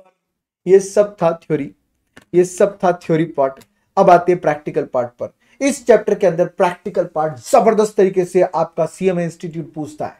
तो प्रैक्टिकल पार्ट पे ध्यान दीजिए, बहुत इंपॉर्टेंट है। General assumptions for capital structure theories what is this all theories के लिए जनरल अजम्पन ऑल थ्योरीज के लिए जनरल अजम्पन कौन से थ्योरीज है सर चार थ्योरीज है, दोस्तों. N I approach N O I approach traditional approach M M approach इन चारों के लिए जो अजम्पन है, वो यहाँ पर दिए हुए है. क्या क्या अजम्पन है सर एक बार पढ़ लेते. पहला अजम्पन लिखा है there are only two sources of finance पहला लिखा है इक्विटी डेट और दूसरा लिखा है इक्विटी मतलब there are no preferences as far as the चार थ्योरीज आर कंसर्न ये जो अभी अभी चार थ्योरीज का नाम पढ़े ना अपन ने, ये चार थ्योरीज के तक याद रखिए याद रखिए ये चार थ्योरीज के अब तक ना आपके पास दो ही सोर्सेस है। या तो डेट या तो इक्विटी प्रेफरेंस बिल्कुल अलाउड नहीं है। दूसरी बात, आप आपका कैपिटल एम्प्लॉयड चेंज नहीं कर सकते हो। What is the capital employed meaning sir capital employed का मीनिंग था कि आप आपका टोटल कैपिटल एम्प्लॉयड मतलब डेट इक्विटी प्रेफरेंस सबका टोटल जितना भी टोटल पैसा आपकी कंपनी में आया, वो टोटल वो नहीं चेंज कर सकते आप। फिर क्या चेंज कर सकते? उसका कैपिटल स्ट्रक्चर चेंज कर सकते हो। कैपिटल स्ट्रक्चर चेंज करना मतलब क्या सर उसका मिक्स और उसका कॉम्पोजिशन आप चेंज कर सकते हो। अगर आपके पास 200 लाख रुपए है तो आप इक्विटी से पूरे 200 लाख ला सकते हो। 100 लाख इक्विटी से ला सकते हो 100 लाख डेट से ला सकते हो। 50 लाख इक्विटी से ला सकते हो और 150 लाख डेट से ला सकते हो। कुछ भी प्रपोर्शन कर सकते हो। 200 का प्रपोर्शन आप डिसाइड कर लो। डेट से कितना लाना है इक्विटी से कितना लाना है, आप डिसाइड कर लो। बट 200 लाख को चेंज नहीं कर सकते हो। उसको बोलते हैं capital structure can not be change but capital sorry capital employed can not be change but capital structure can be change मतलब तुम 200 लाख को चेंज नहीं कर सकते। 200 लाख के कॉम्पोजिशन को चेंज कर सकते हो। आई होप सबको समझा है। नाउ नो रिटेन अर्निंग यहाँ पे बोला गया जितना कमाएँगे, पूरा डिस्ट्रीब्यूट कर देंगे। नो रिटेन अर्निंग समा, समझा क्या आपको? कंपनी बस कमाया डिस्ट्रीब्यूट कर दिया। नेक्स्ट ईयर कमाया डिस्ट्रीब्यूट कर दिया। नो रिटेन अर्निंग जितना कमाई हो रही है, उतना डिविडेंड बांट रहे हो। Means your net income is your dividend net income मतलब income available for equity shareholders होता है। उसमें से तुम डिविडेंड बांटते हो और कुछ रिटेन करते हो। यहाँ लिखा है नो रिटेन अर्निंग तो कुछ भी रिटेन नहीं करना है, पूरा डिविडेंड बांट देना है। ओके एंड देन उसके बाद लिखा है नो लॉसेस नो लॉसेस का मतलब क्या हुआ? नो no लॉसेस का मतलब हुआ कि कंपनी सिर्फ़ प्रॉफिट ही कमाएगा लॉसेस बिल्कुल भी नहीं होंगे। उसको बोलते हैं no losses no change in fix cost of operation आप सबको पता है कि हमने लेवरेज में क्या पढ़ा था? लेवरेज में पढ़ा था ऑपरेटिंग पार्ट लेवरेज में पढ़ा था फाइनेंशियल पार्ट ये लोग बोल रहे हैं कि तू तेरा कैपिटल स्ट्रक्चर चेंज कर सकता है। मतलब तू तेरा डेट इक्विटी वगैरह चेंज कर सकता है। बराबर? डेट टू इक्विटी का प्रपोर्शन चेंज कर सकता है तू। तो उससे तेरा ऑपरेटिंग का फिक्स कॉस्ट चेंज नहीं होगा। ऑपरेटिंग का फिक्स कॉस्ट चेंज नहीं होगा no change in operating fix cost मतलब sales less variable cost contribution less fix cost EBIT EBIT तक का पार्ट सेम रहेगा। फिर क्या चेंज होगा सर अगर तू कैपिटल स्ट्रक्चर को चेंज कर रहा है डेट इक्विटी को चेंज कर रहा है तो ईबीआईटी के नीचे का पार्ट चेंज होगा। इसलिए दोस्तों, इस चैप्टर में आपके अधिकतर आंसर्स की शुरुआत जो है, अधिकतर आंसर्स की शुरुआत जो है, वो ईबीआईटी से होगी।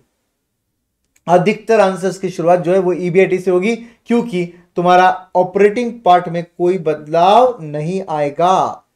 नो टैक्सेस ना पर्सनल टैक्स है, नो कॉर्पोरेट टैक्स है नो टैक्सेस कौन से दुनिया में जी रहे इंडिया में रहकर बोल रहे नो टैक्सेस बट कोई बात नहीं आजमशन तो आजमशन है।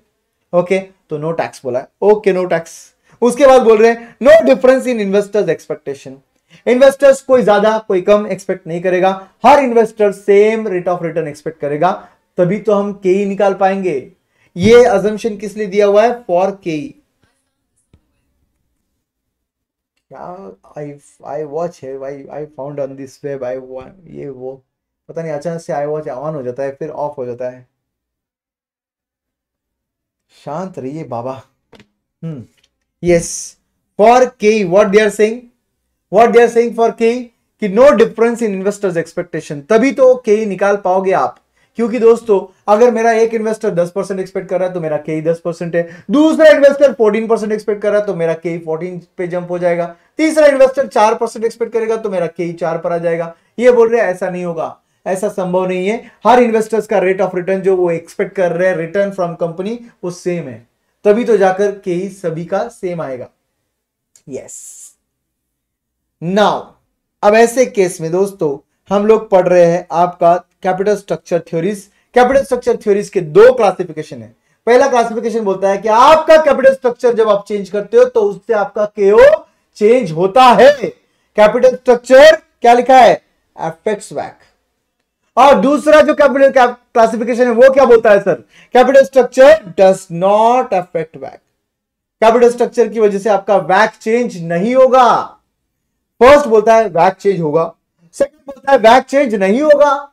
यस yes, दो क्लासिफिकेशन है। वैक चेंज होगा बोलने वाला अप्रोच है NI approach and traditional approach वैक change नहीं होने वाला अप्रोच है NOI approach and MM approach वैक चेंज नहीं होगा कौन बोल रहा है? एनवाई बोल रहा है एमएम बोल रहा है। वैक चेंज होगा ये कौन बोल रहा है? एनआई बोल रहा है और ट्रेडिशनल बोल रहा है। तो देखते हैं दोस्तों एक एक कर कर ये थ्योरीज को। सबसे पहले एनआई थ्योरी की बात करते हैं। सबसे पहले आते हैं नेट इनकम अप्रोच पर। नेट इनकम अप्रोच ये रहा मेरा net income approach yes my friends net income approach ने क्या किया? जनरल अजम्पन्स के अलावा और कुछ अजम्पन्स यहाँ पे लिखे हुए सबसे पहले बोला है KD is equal to debt capitalization rate very good capitalization rate का मतलब होता है कॉस्ट ऑफ़ कैपिटल तो डेट कैपिटलाइजेशन का मतलब होता है डेट का कॉस्ट ऑफ़ कैपिटल ओके ये तो हमको पता ही है। के का मतलब होता है इक्विटी कैपिटलाइजेशन रेट बिल्कुल सही है cost of equity then KD is always less than K ये लॉजिक क्या बोल रहा है? केडी जो है केडी कॉस्ट ऑफ़ डेट वो हर वक्त कॉस्ट ऑफ़ इक्विटी से कम रहेगा। बिल्कुल सही अजम्पन है। क्यों कम रहेगा सर केडी के केस में डेट आता है। डेट जो है डेट टैक्स डिडक्टिबल है। दूसरा बात डेट के एक्सपेक्टेशन फिक्स्ड है फिक्स्ड इक्विटी के केस में उनके एक्सपेक्टेशन एवर राइजिंग है because they are the real owners और दूसरी बात, उनको डिविडेंड जो दिया जाता है वो टैक्स डिडक्टिबल नहीं है। तो ऑब्वियसली दो रीजन की वजह से केडी कभी भी कम रहेगा के कभी भी ज़्यादा रहेगा। इन्होंने कोई रीजन स्पेसिफाई नहीं किया। सीधा आपको बोल दिया अज्यूम कर लो केडी कम है और के ज़्यादा है। मगर ये अजम्पन बहुत रियलिस्टिक अजम्पन है। ओके लास्ट अजम्पन यहाँ पर लिखा है लास्ट अजम्पन लास्ट अजम्पन क्या है?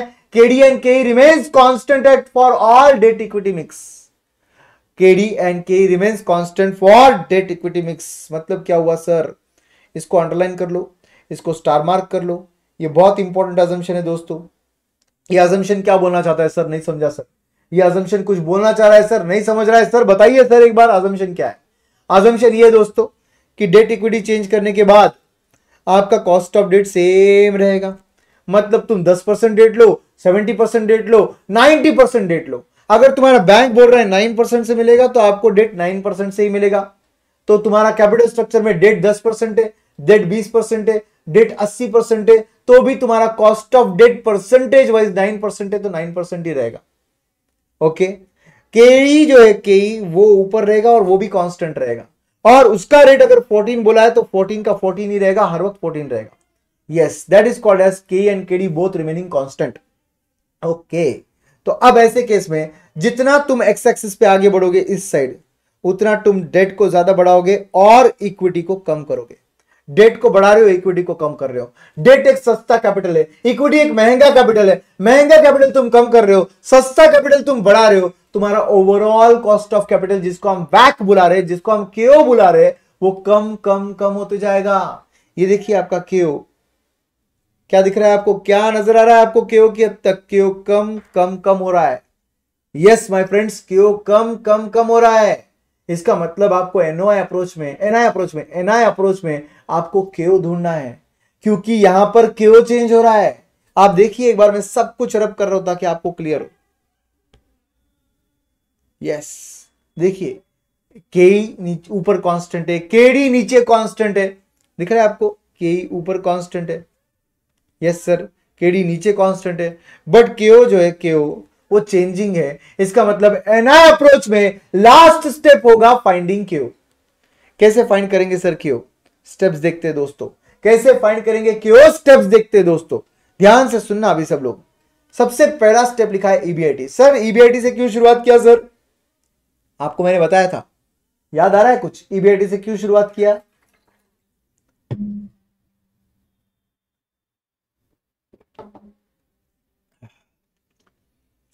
दोस्तों ईबीआईटी से इसलिए शुरुआत किया है बिकॉज़ आपका ऑपरेटिंग पार्ट चेंज नहीं होता है। जो चेंज होगा, वो फाइनेंशियल पार्ट में चेंज होगा। इसलिए ईबीआईटी से आंसर शुरुआत होती है। यस ईबीआईटी में से लेस कर देंगे इंटरेस्ट मिल जाएगा ईबीटी बट उसको बुला रहे हैं एनआई ईबीटी एनआई कैसे हो सकता है सर टैक्स भरना पड़ेगा। नो टैक्स सर ईएटी के बाद जनरली हम प्रेफरेंस डिविडेंड भरते थे। There are no preference shares किसने बोला सर आजमशन ने बोला। There are two sources of finance debt and equity तो प्रेफरेंस है ही नहीं तो प्रेफरेंस डिविडेंड किसको देगा तू? टैक्स है ही नहीं तो टैक्स किसको पे करेगा तू? इसका मतलब तेरा ईबीटी ही तेरे इक्विटी शेयरहोल्डर्स को अवेलेबल रहेगा। तो इसलिए तू ईबीटी को बुला रहा है NI yes my friends so second step is EBT which is NI which is nothing but EBIT minus interest on debt third step NI किसको बिलोंग करता है? इक्विटी वालों को सर तो वैल्यू ऑफ़ इक्विटी निकाल लेते हैं, जिसको सिंबॉलिकली एस बोलते हैं। एस क्यों बोलते हैं सर इक्विटी शेयर होल्डर्स होते हो इसलिए उसको एस बोलते हैं शेयर्स तो वैल्यू ऑफ़ इक्विटी को एस बुलाते हैं। S is nothing but N I upon K ये फॉर्मूला है एन आई अपॉन के मतलब ही EBT upon K okay then fourth step is value of debt D D is equal to interest upon K D sir ये formula ऐसा क्यों हो रहा है? Sir ये समझ नहीं रहे सर ये थर्ड स्टेप फोर्थ स्टेप कोई बात नहीं, ध्यान से सुनो। फोर्थ स्टेप पहले समझ लो, फिर थर्ड स्टेप समझ लेते हैं। फोर्थ स्टेप बोल रहा है debt is equal to value of debt is equal to interest upon KD तो दोस्तों, ये इंटरेस्ट का ही तो फॉर्मूला है। इंटरेस्ट इज़ इक्वल टू क्या होता है? डेट इंटू केडी होता है ना?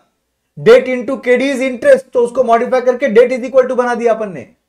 यस और ऊपर वाला, नीचे वाला फॉर्मूला है ऊपर को लॉजिक को लगा दिया हमने। नीचे डेट है, ऊपर इक्विटी है। नीचे डेट था, इसलिए केडी लिखा है। ऊपर इक्विटी है तो के लिखना पड़ेगा डिनोमीटर में। नीचे डेट था तो न्यूमिनेटर में इंटरेस्ट आया बिकॉज़ डेट वालों को इंटरेस्ट पे होता है। ऊपर इक्विटी है तो ऑब्वियसली इक्विटी वालों को एनआई पे होता है।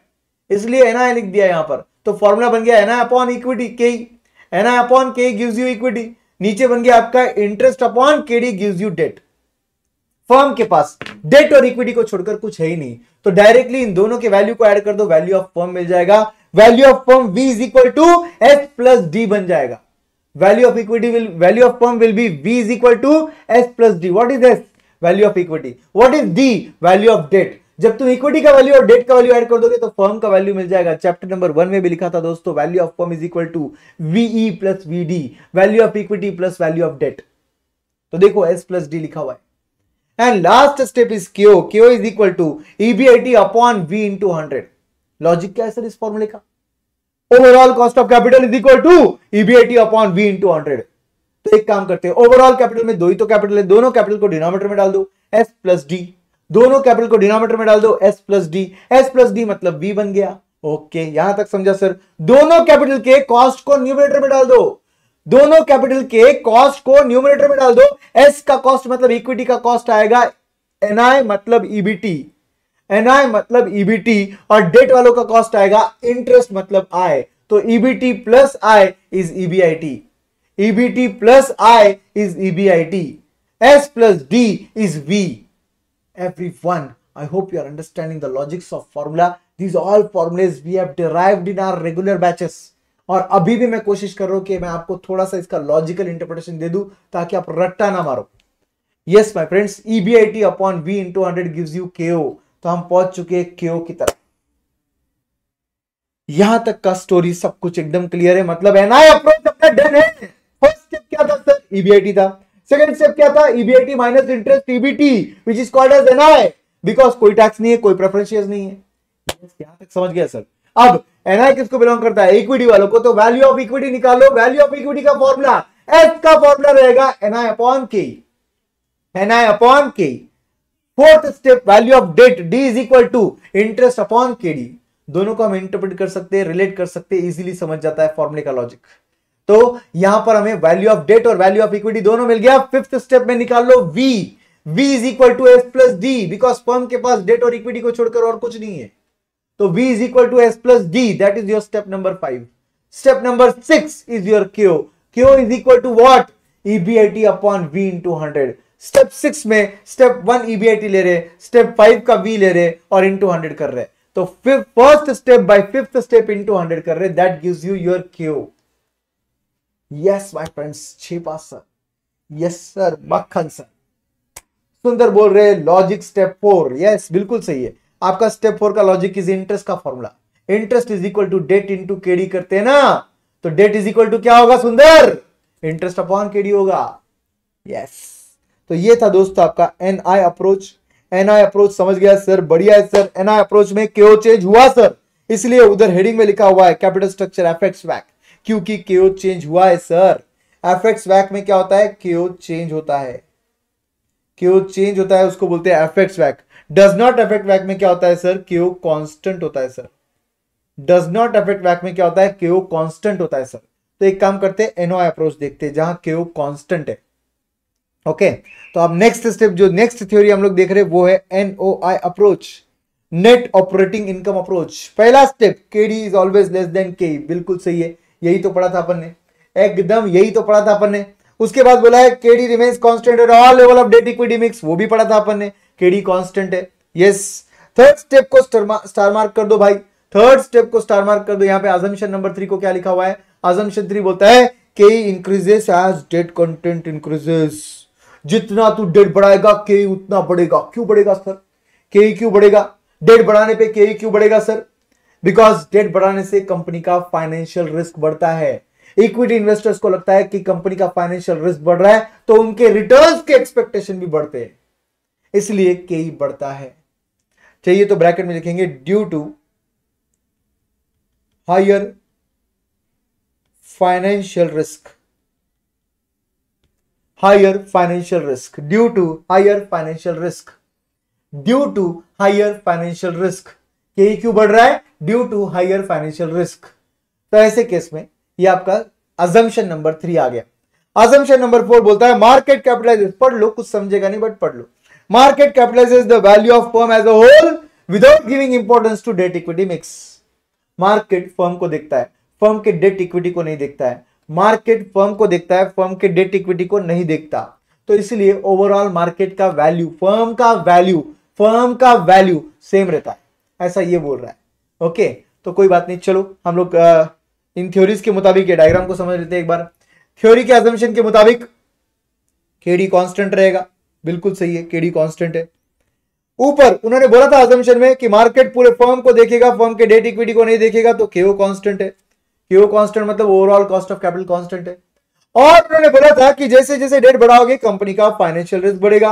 और कंपनी का फाइनेंशियल रिस्क बढ़ेगा तो के जो है वो बढ़ता जाएगा। तो ये देखो, बढ़ रहा है के तो आपको इस थ्योरी में दिया क्या रहेगा? सर केडी दिया रहेगा केओ दिया रहेगा। ढूंढना क्या है? लास्ट स्टेप क्या है इस थ्योरी का? के है, सर। लास्ट स्टेप था फाइंडिंग के तो चलो, जैसे लास्ट स्टेप पिछले थ्योरी में केओ था, यहाँ पर लास्ट स्टेप आएगा केई यस माय फ्रेंड्स तो अब आपका स्टेप्स निकाल लेते एनओआई अप्रोच के। Step number one no change because operating part अभी भी सेम है तो ईबीआईटी से ही शुरुआत होगी। Step two no change EBIT minus interest gives you EBT which is called as NI यहाँ तक स्टेप में कोई डिफरेंस नहीं है। थर्ड स्टेप आपको चेंज करना पड़ेगा। क्यों सर क्योंकि थर्ड स्टेप में लिखा था value of equity S is equal to NI by K यहाँ पर के कांस्टेंट नहीं है के चेंज हो रहा है। देखो के कांस्टेंट नहीं है के चेंज हो रहा है तो आप के ही यूज़ नहीं कर सकते, आपको के ढूंढना है। तो थर्ड स्टेप चेंज करना पड़ेगा। कोई बात नहीं, कुछ और चीज़ तो कांस्टेंट है। कौन सी चीज़ कांस्टेंट है? क्यों कांस्टेंट है। तो अगर के ही कांस्टेंट नहीं था तो हम वैल्यू ऑफ़ इक्विटी नहीं निकाल पाए। मगर क्यों कांस्टेंट है तो हम वैल्यू ऑफ़ फर्म निकाल लेंगे डायरेक्टली के ही नहीं निकाल पाए वैल्यू ऑफ़ इक्विटी के लिए। मतलब के ही यूज़ नहीं कर पाए वैल्यू ऑफ़ इक्विटी के लिए। क्यों तो यूज़ कर सकते वैल्यू ऑफ़ फर्म के लिए तो वैल्यू ऑफ़ फर्म निकालेंगे। Value of firm V is equal to क्या बोलेंगे? ईबीआईटी बाई क्यों बोलेंगे सर ये कहाँ से आया सर ये फॉर्मूला कहाँ से आ रहा है अभी? ये पिछले थ्योरी का लास्ट स्टेप था। Q is equal to EBIT upon V into hundred तो उसी को मॉडिफाई करके यहाँ पे v इज़ इक्वल टू बना दिया। ध्यान से देखिए, और पिछले थ्योरी के लास्ट स्टेप से रिलेट कीजिए। तो Q is equal to EBIT upon V था, और यहाँ पर है v is equal to EBIT upon Q तो इससे मुझे वैल्यू ऑफ़ फर्म मिल जाएगा। फोर्थ स्टेप चेंज करने की ज़रूरत नहीं है। वैल्यू ऑफ़ डेट वैसी रहेगा इंटरेस्ट अपॉन केडी सर वो सेम क्यों रहेगा सर बिकॉज़ केडी यहाँ पर कांस्टेंट है। देखिए, पिछले थ्योरी में भी कांस्टेंट था, इधर भी कांस्टेंट है। अगर कांस्टेंट है मतलब क्वेश्चन में गिवन रहेगा क्वेश्चन में गिवन रहेगा तो डायरेक्टली यूज़ हो सकता है। तो डायरेक्टली यूज़ कर कर वैल्यू ऑफ़ डेट निकाल लिया। सर वापस से बता दीजिए सर इसका फॉर्मुले का लॉजिक क्या था? इंटरेस्ट के फॉर्मुले से आया ये। इंटरेस्ट का फॉर्मुला क्या था सर डेट इंटू केडी था। उसको मॉडिफाई करके डेट इज़ इक्वल टू बना दिया तो इंटरेस्ट अपॉन केडी आ जाएगा फॉर्मुला और आपका वैल्यू ऑफ़ डेट निकल जाएगा। अब आपके पास पूरे फर्म का वैल्यू है और डेट का वैल्यू है। पूरे फर्म के वैल्यू में से डेट का वैल्यू निकाल दो तो इक्विटी का वैल्यू बचेगा। पूरे फर्म के वैल्यू में से डेट का वैल्यू निकाल दो तो इक्विटी का वैल्यू बचेगा दोस्तों। इसलिए मेरा फिफ्थ स्टेप रहेगा value of equity S is equal to V पूरे फॉर्म का value minus D is equal to debt का वैल्यू तो बचा वैल्यू इक्विटी का रहेगा ना। तो value of equity is equal to V minus D because because V is equal to क्या पढ़ा था अपन ने पिछले थ्योरी में? S plus D V is equal to क्या पढ़ा था? एस प्लस डी पढ़ा था। तो एस इज़ इक्वल टू क्या होगा? वी माइनस डी होगा ना? यस एब्सोल्युटली यहाँ पर सब कुछ समझ में आ गया।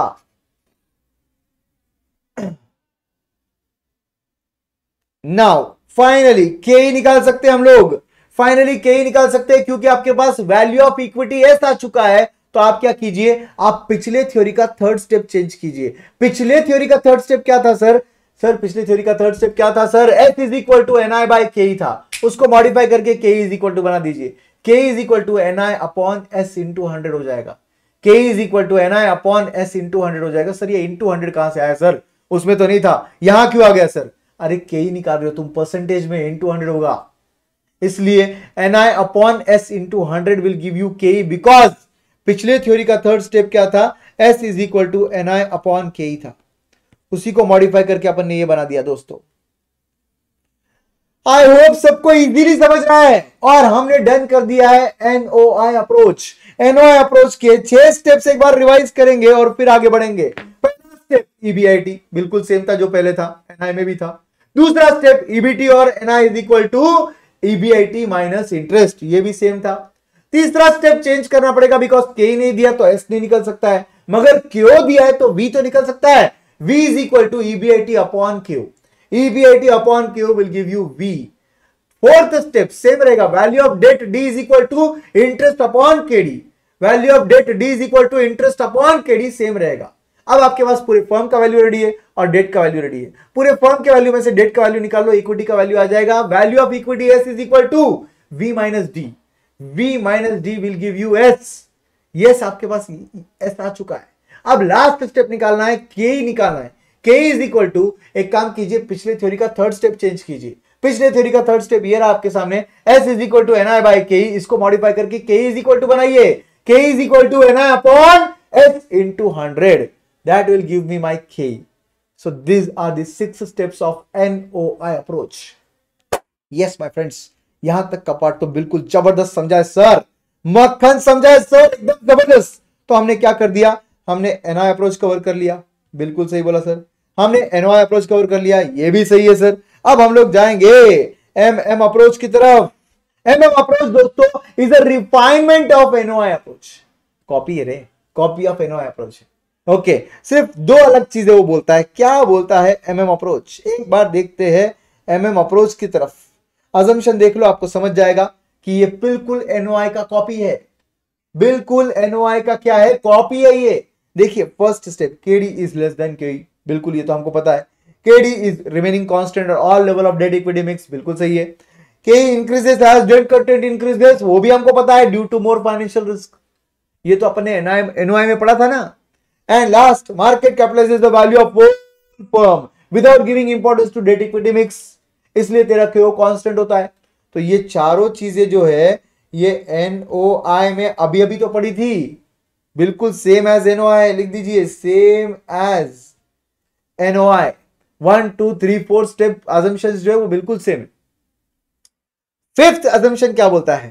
फिफ्थ अजम्पन बोलता है मार्केट जो है कैपिटल मार्केट कैपिटल मार्केट मतलब share market share market perfect है। इन्वेस्टर्स फ्री है बाय करने के लिए और सेल करने के लिए। जो भी सिक्योरिटीज उनको बाय और सेल करना है। कोई ट्रांजेक्शन कॉस्ट नहीं लगेगा। मतलब जितने भी सिक्योरिटीज का वैल्यू आपको परचेज करना है that will be number of share into price per share and जितने भी बेचने हैं that will be nothing but number of share जितने बेचे इनटू प्राइस पर शेयर वो पूरा आपके जेब में आ जाएगा। No transaction cost then investors personally borrow without restriction on the same terms as the firms do आपको ये सेंटेंस का मीनिंग याद होगा दोस्तों। इन्वेस्टर्स को रिस्क बैलेंस करने के लिए बोरो करना पड़ता है। एमएम अप्रोच में जब आप लेवर्ड फर्म से अनलेवर्ड फर्म की तरफ़ जाते हो तो ऑब्वियसली आपको लेवर्ड फॉर्म में डेट था। अनलेवर्ड फॉर्म में डेट नहीं है। तो डेट के रिस्क को मैच करने के लिए अनलेवर्ड फॉर्म में जाते वक्त पर्सनली बोरो करना पड़ता है। ऑब्वियसली उसी same terms same terms same terms and condition पे बोरो करेंगे, जिस टर्म्स एंड कंडीशंस पे कंपनी बोरो करता है। इसलिए यहाँ पर लिखा हुआ है कि investors can personally borrow without restriction on the same terms as the firms do तो ये स्विचिंग के वक्त काम में आता है। स्विचिंग के वक्त रिस्क को मैच करने के लिए काम में आता है। आपको याद होगा तो पर्सनल बोरिंग कब आता है? रिस्क को मैच करने के लिए स्विचिंग के वक्त काम में आता है। देन दोस्तों लास्ट लास्ट चीज़ क्या बोलती है? सेम रिस्क क्लास दो रिस्क, दो कंपनी सेम रिस्क क्लास में कब रहते हैं? जब उनका कैपिटल एम्प्लॉयड सेम है और उनका ईबीआईटी भी सेम है। तो उनको बोलते हैं होमोजीनियस रिस्क क्लास मतलब सेम रिस्क क्लास का classification homogeneous risk class same risk class का क्लासिफिकेशन अब दोस्तों, दो फर्म्स अगर सेम कैपिटल एम्प्लॉयड के हैं और सेम ईबीआईटी है तो उन दोनों फर्म को बोलते हैं same risk class according to MM approach होता है ऐसा है दोस्तों। This theory is a copy of NOI approach आप एग्ज़ाम में वर्ड कॉपी मत लिखिए रिफाइनमेंट लिखिए। क्या लिखिए? रिफाइनमेंट मतलब क्या? कॉपी है। बस लिखते हो तो रिफाइनमेंट लिखते हैं। Okay this theory is a refinement of NOI approach additionally ये दो ही बातें बोलता है। मैं पहले से बोल रहा हूँ, ये दो बातें बोलता है। कौन सी दो बातें बोलता है, सर ये?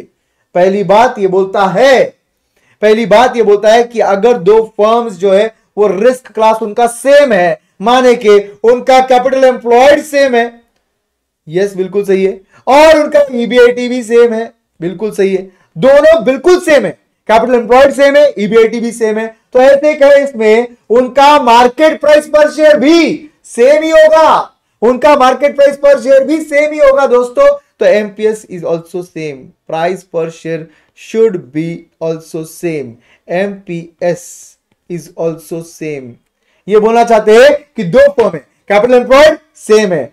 ईबीआईटी सेम है. तो ये दो कंपनी का मार्केट प्राइस पर शेयर भी सेम होगा. Proposition number one proposition number two बोलता है इफ़ फॉर एनी मोमेंट ये सेम नहीं है. प्रपोजिशन नंबर टू क्या बोल रहा है? कि कोई भी मोमेंट के लिए ये अगर सेम नहीं रहेगा तो क्या होगा? तो मार्केट में आर्बिट्रेज प्रोसेस शुरू हो जाएगा और बाइंग एंड सेलिंग शुरू हो जाएगा और फिर उससे वो सेम हो जाएगा. मार्केट प्राइस पर शेयर उससे सेम हो जाएगा. लिखिए, दिखा क्या दोस्तों, यहाँ पे दिखा है if for any moment the market price per share is not same arbitrage process will make it same sir ये आर्बिट्रेज प्रोसेस क्या होता है सर बाइंग एंड सेलिंग को बोलते हैं arbitrage process buying and selling शुरू हो जाएगा मार्केट में, खरीदारी बिकवारी शुरू हो जाएगी। खरीदेंगे वो शेयर जिसका दाम कम है, बेचेंगे वो शेयर जिसका दाम ज़्यादा है। जैसे ही जिसका दाम ज़्यादा है, उसको बेचेंगे तो दाम कम होना चालू हो जाएगा। जिसको खरीद रहे उसका दाम कम है तो उसका दाम बढ़ना चालू हो जाएगा। इसको बेच रहे उसका दाम कम हो रहा है। इसको खरीद रहे इसका दाम बढ़ रहा है। तब तक चलते जाएगा दोस्तों, जब तक दोनों के प्राइजेस सेम नहीं हो जाते। तो दोस्तों, ये पॉइंट बोल रहा है आपको कि मार्केट इसको सेम कर देगा। बाइंग एंड सेलिंग की वजह से ये सेम हो जाएगा। That's called M M approach for you guys दो प्रपोजिशन बोलता है। नंबर वन प्रपोजिशन अगर दो कंपनी जिसका कैपिटल एम्प्लॉयड सेम है, जिसका ईबीआईटी भी सेम है तो इस थ्योरी के मुताबिक उसका market price per share same होना चाहिए। प्रपोजिशन नंबर टू बोलता है, अगर कोई मोमेंट पर वो सेम नहीं है तो मार्केट में शुरू हो जाएगा डैश आर्बिट्रेज प्रोसेस बाइंग करेंगे सस्ता शेयर बढ़ना चालू हो जाएगा। सेलिंग करेंगे महँगा शेयर कम होना चालू हो जाएगा। और तब तक चलता रहेगा जब तक दोनों का प्राइस सेम नहीं हो जाता। That's called M M approach absolutely तो ये था दोस्तों आपका M M approach M M approach का डायग्राम बिल्कुल एनओआई अप्रोच जैसा ही है। नीचे केडी कांस्टेंट है। यस सर ऊपर के कांस्टेंट है। यस सर और यहाँ पर के चेंज होते जा रहा है। बिल्कुल सही है। एम एम अप्रोच के केस में स्विचिंग वाले क्वेश्चन आते हैं। लेवर्ड फॉर्म से अनलेवर्ड फॉर्म अनलेवर्ड फॉर्म से लेवर्ड फॉर्म सब कुछ क्लास में सॉल्व किया था दोस्तों। आप एक बार वापस प्रैक्टिस कर लेना। जो लोगों ने सॉल्व नहीं किया रहेगा, मेरे क्लास में नहीं रहेंगे। कोई बात नहीं, आप सॉल्व कर लेना स्टडी मटेरियल से। नहीं आएगा अगर आपको तो आप मैराथन रेफर कर लेना, आपको समझ जाएगा। Yes friends so that is M M approach for you तो हम लोगों ने क्या कर दिया? एम एम अप्रोच भी कवर कर लिया है। तो हमारे कितने थ्योरीज कवर हो चुके हैं? तीन थ्योरी कवर हो चुके हैं आउट ऑफ़ फोर अब बात करते हैं दोस्तों ट्रेडिशनल अप्रोच की। ट्रेडिशनल अप्रोच बहुत इजी है दोस्तों, क्योंकि ट्रेडिशनल अप्रोच में कुछ चीज़ पूछ ही नहीं सकते वो लोग। ट्रेडिशनल अप्रोच बहुत आसान है दोस्तों। देखिए एक बार ट्रेडिशनल अप्रोच। अजम्पशन क्या बोलता है ट्रेडिशनल अप्रोच का? यहाँ पर अजम्पशन बोलता है केडी लेस देन के ये तो हमको पता है भाई। कितनी बार बोलोगे केडी लेस देन के ये बिल्कुल हमें पता है। दूसरा बोलता है अजम्पशन जिसको हम स्टार मार्क करेंगे। KD and K vary as per the debt equity mix with the change in debt equity mix your KD will also change your K will also change आपको याद होगा एनआई अप्रोच ने दोनों को constant assume किया था। NOI ने एक को चेंज किया, एक को कांस्टेंट रखा। एमएम ने तो उसका कॉपी कर लिया। ये लास्ट अप्रोच बोल रहा है, दोनों चेंज हो जाएँगे। केडी भी सेम नहीं रहेगा के भी चेंज नहीं सेम नहीं रहेगा। क्यों नहीं रहेंगे? देखिए, यहाँ पे के बढ़ रहा है, बढ़ रहा है, बढ़ रहा है। लॉजिक वही है फाइनेंशियल रिस्क बढ़ रहा है। नीचे देखो डेट इक्विटी मिक्स चेंज हो रहा है ना? तो फाइनेंशियल रिस्क बढ़ रहा है क्योंकि आप डेट को बढ़ा रहे हो और इक्विटी को कम कर रहे हो। तो ऑब्वियसली बात है कि फाइनेंशियल रिस्क बढ़ रहा है तो इसलिए के ही बढ़ रहा है। अब दोस्तों, ये केडी जो है ना, ये एक लेवल तक कांस्टेंट रहता है। एक लेवल तक आपको बैंक कंफर्टेबली लोन देता है। Suppose for example 10 percent loan आप मांग रहे हो 90 परसेंट आपके खुद के पैसे। बैंक बोलता है, ले लो ना सर कोई प्रॉब्लम नहीं। तीस परसेंट पैसे बैंक के, सत्तर परसेंट आपके। बैंक बोलेगा, ले लो ना सर कोई प्रॉब्लम नहीं। है पचास परसेंट पैसे बैंक के, पचास परसेंट आपके। बैंक बोलेगा, ले लो ना सर कोई प्रॉब्लम नहीं है। सत्तर परसेंट पैसे बैंक के, तीस परसेंट तुम्हारे। बैंक बोलेगा, क्या कर रहे हो सर मत लो ना सर अब आप बोल रहे हो नब्बे परसेंट बैंक का, दस परसेंट तुम्हारा। बैंक बोल रहे हो मरवाओगे क्या, सर?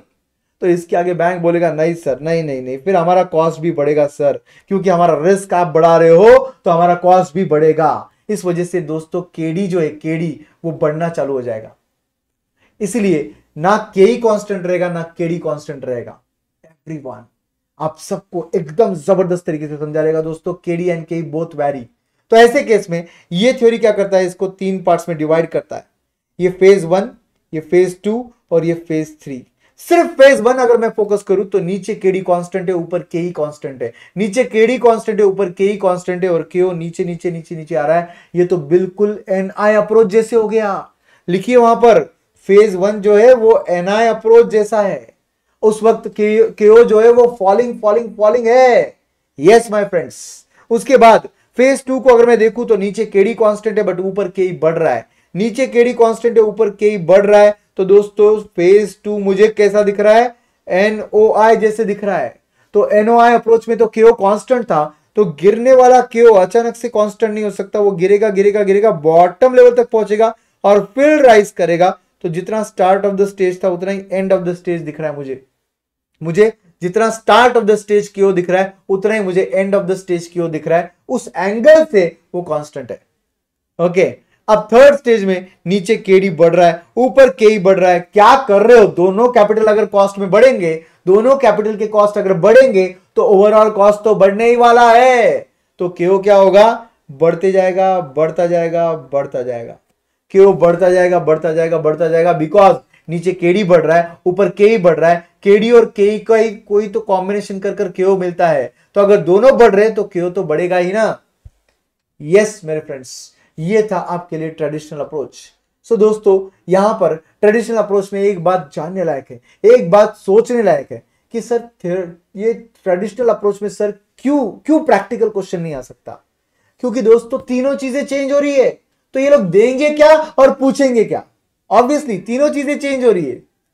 समझ गए? और अगर इन्होंने कोई क्वेश्चन पूछ भी लिया ना तो वो ट्रेडिशनल अप्रोच का नहीं रहेगा। भले ये लोग नाम लिखेंगे अकॉर्डिंग टू ट्रेडिशनल अप्रोच ये लोगों को या तो केडी देना पड़ेगा, या तो केओ देना पड़ेगा, और के ही पूछना पड़ेगा। या तो के ही देंगे केओ देंगे, और केडी पूछेंगे। कोई ना कोई आइटम देंगे और बचाव आइटम पूछेंगे आपको। तो वो ट्रेडिशनल अप्रोच थोड़ा ना हुआ वो। समझे? तो इस पे प्रैक्टिकल क्वेश्चन नहीं आ सकता। बाकी जो भी दोनों थ्योरीज पढ़े थे, उसके स्टेप्स को देखकर ही यहाँ पर कोई दो आइटम दिए रहेंगे और तीसरा आइटम ढूंढना रहेगा तो स्टेप्स तो वही यूज़ करना आपको जो एनआई और एनओआई में देखे थे। इस पर डेडिकेटेडली कोई क्वेश्चन नहीं आ सकता, अलग से याद रखिए ये बात। बस क्वेश्चन आ भी जाए तो ये लोग बोलते हैं भले ट्रेडिशनल अप्रोच बट ये लोग या तो केडी देंगे, या तो केओ देंगे, या तो केई देंगे। केडी केओ या केई कुछ ना कुछ देंगे और बचाव पूछेंगे। चलिए गाइज़ हमारे चारों थ्योरीज खत्म हो चुके हैं। N I N I N O I M M approach and traditional approach चारों भी अप्रोचेस हमने कवर कर लिए दोस्तों। अब हम आगे बढ़ रहे हैं। अब हम चैप्टर के नेक्स्ट पड़ाव पर बढ़ रहे हैं दोस्तों। और नेक्स्ट पड़ाव जो है हमारा वो है वो है हमारे लिए दोस्तों एम एम अप्रोच के अंदर ही विथ टैक्स विदाउट टैक्स तो हमने जो पढ़ा था वो था विदाउट टैक्स विथ टैक्स के केस में ना दोस्तों आपको सिर्फ़ ये थ्योरी के ये दो फॉर्मुलेज जो है ना ये याद रखने पड़ेंगे. यस yes, याद रखने पड़ेंगे. वैल्यू ऑफ़ लिवर्ड फर्म क्या होता है? जितना भी अनलिवर्ड फर्म का वैल्यू होता है ना उसमें present value of interest tax add करना पड़ता है. जितना भी अनलिवर्ड फर्म का वैल्यू होता है ना उसमें टैक्स बेनिफिट ऐड कर दोगे तो लेवर्ड फर्म का वैल्यू मिल जाएगा जिसको गियर्ड फर्म बोलते हैं. सर ये लेवर्ड क्या होता है? अनलिवर्ड क्या होता है? लेवर्ड मतलब डेट के साथ। अनलेवर्ड मतलब विदाउट डेट वाली फॉर्म नहीं पता होगा तो लिखिए विदाउट डेट विदाउट डेट वाली फॉर्म को अनलेवर्ड बोलते हैं। लेवर्ड मतलब विथ डेट जिस फॉर्म के पास डेट होता है, उसको विथ डेट लेवर्ड फॉर्म बोलते हैं गियर्ड फॉर्म बोलते हैं। और इसलिए इधर वीजी लिखा हुआ है वैल्यू ऑफ़ गियर्ड फॉर्म जो फर्म के पास डेट नहीं होता है, उसे अनलेवर्ड फर्म बोलते हैं। तो अनलेवर्ड फर्म के पास अगर डेट नहीं है तो टैक्स बेनिफिट नहीं मिल रहा है उसको। और लेवर्ड फर्म के पास अगर डेट है मतलब उसको टैक्स बेनिफिट मिलेगा। बट जो मिलने वाला टैक्स बेनिफिट है, वो तो फ्यूचर ईयर्स में मिलेगा। फ्यूचर ईयर्स का टैक्स बेनिफिट का प्रेजेंट वैल्यू जो है, उसको हम बुला रहे present value of tax benefit present value of interest tax shield अगर आप अनलेवर्ड फर्म के साथ ऐड कर दोगे तो मुझे लेवर्ड फर्म का वैल्यू मिल जाएगा।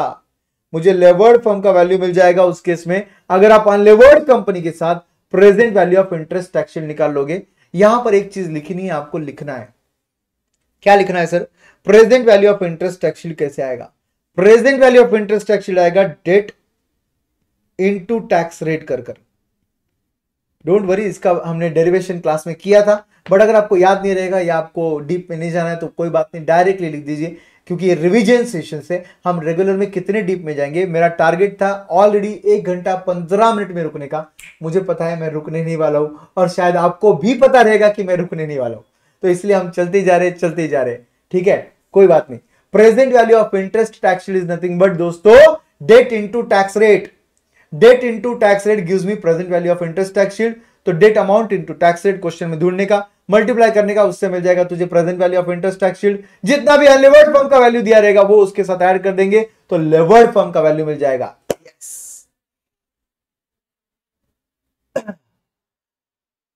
कल्पना क्या पूछ रहे सर प्रैक्टिकल क्वेश्चंस ज़्यादा आते हैं एंड सर थ्योरी क्वेश्चंस के कंपैरिजन में बिल्कुल नहीं कल्पना। आपके जो सीएमए के सिलेबस है उसमें आपके पेपर पैटर्न में कुछ पार्ट जो है वो ऑब्जेक्टिव है और कुछ पार्ट जो है वो डिस्क्रिप्टिव है। जो ऑब्जेक्टिव पार्ट है, उसमें पूरा का पूरा थ्योरी काम में आएगा। और जो डिस्क्रिप्टिव पार्ट है, उसमें प्रैक्टिकल क्वेश्चंस भी और थियोरटिकल क्वेश्चंस भी लिखने पड़ते हैं आपको। तो नो डाउट थ्योरी पर बहुत ज़्यादा वेटेज है, इसलिए तो मैं एक ना एक चीज़ समझा रहा था आपको थ्योरी का। ये तो प्रैक्टिकल है खैर बट बाकी थ्योरी के लिए मैं डिटेल में इसलिए जा रहा था बिकॉज़ आपके सिलेबस में थ्योरी को बहुत ज़्यादा वेटेज दिया हुआ है। यस दूसरा फॉर्मूला दोस्तों cost of equity for levered firm जिसको के ऑफ़ गियर्ड फर्म बोलते हैं। के ऑफ़ गियर्ड फर्म के लिए आपको ये फॉर्मूला याद रखना पड़ेगा। सर ये फॉर्मूला क्या है? K of ungeared firm unlevered firm plus K of unlevered firm minus KD K of unlevered firm minus KD into debt upon debt plus equity into debt upon debt plus equity मतलब ये बन गया debt equity ratio debt equity ratio आप multiply कर रहे हो इधर, इसके साथ। और जो भी वैल्यू आ रही है, उसको वैल्यू ऑफ़ के अनलेवर्ड के साथ ऐड कर रहे हो। वैल्यू ऑफ़ के अनलेवर्ड के साथ क्या कर रहे हो? ऐड कर रहे हो उसको। तो आपको मिल जाएगा आपका गियर्ड फर्म का के गियर्ड फर्म के के मतलब लेवर्ड फर्म का के लेवर्ड फर्म का के निकालने के लिए आपको अनलेवर्ड फर्म का के लेना है प्लस अनलेवर्ड फर्म के के में से केडी लेस करना है तो आपको एक्स्ट्रा वाला पार्ट मिल जाएगा। उसको डेट इक्विटी रेशियो से मल्टीप्लाई करना है, बस उसके साथ एडअप कर देना है के ऑफ़ अनलेवर्ड के साथ। तो आपको गियर्ड फर्म का के मिल जाएगा। तो ये फॉर्मूले आपको यूज़ में नहीं आएँगे, ये दोनों फॉर्मूले रेयरली पूछते रेयरली पूछते बट अगर पूछ भी लिया तो बस याद रखिए फॉर्मूला वन और फॉर्मूला टू इतना ही फॉर्मूला जो आपको याद रखना पड़ेगा। फ़िलहाल के लिए इसे याद रख लीजिए फॉर्मूला बुक में अपडेट कर दीजिए। और लॉजिक अगर आपको रेफर करना है तो वो तो रेगुलर बैच में हमने डिस्कस डिस्कस किया था। रिविजन बैच में डिस्कस करना पॉसिबल नहीं है ये सब चीज़ें। ओके नाउ फ्रेंड्स अब बात करते हैं दोस्तों आपके बचे कॉन्सेप्ट्स की।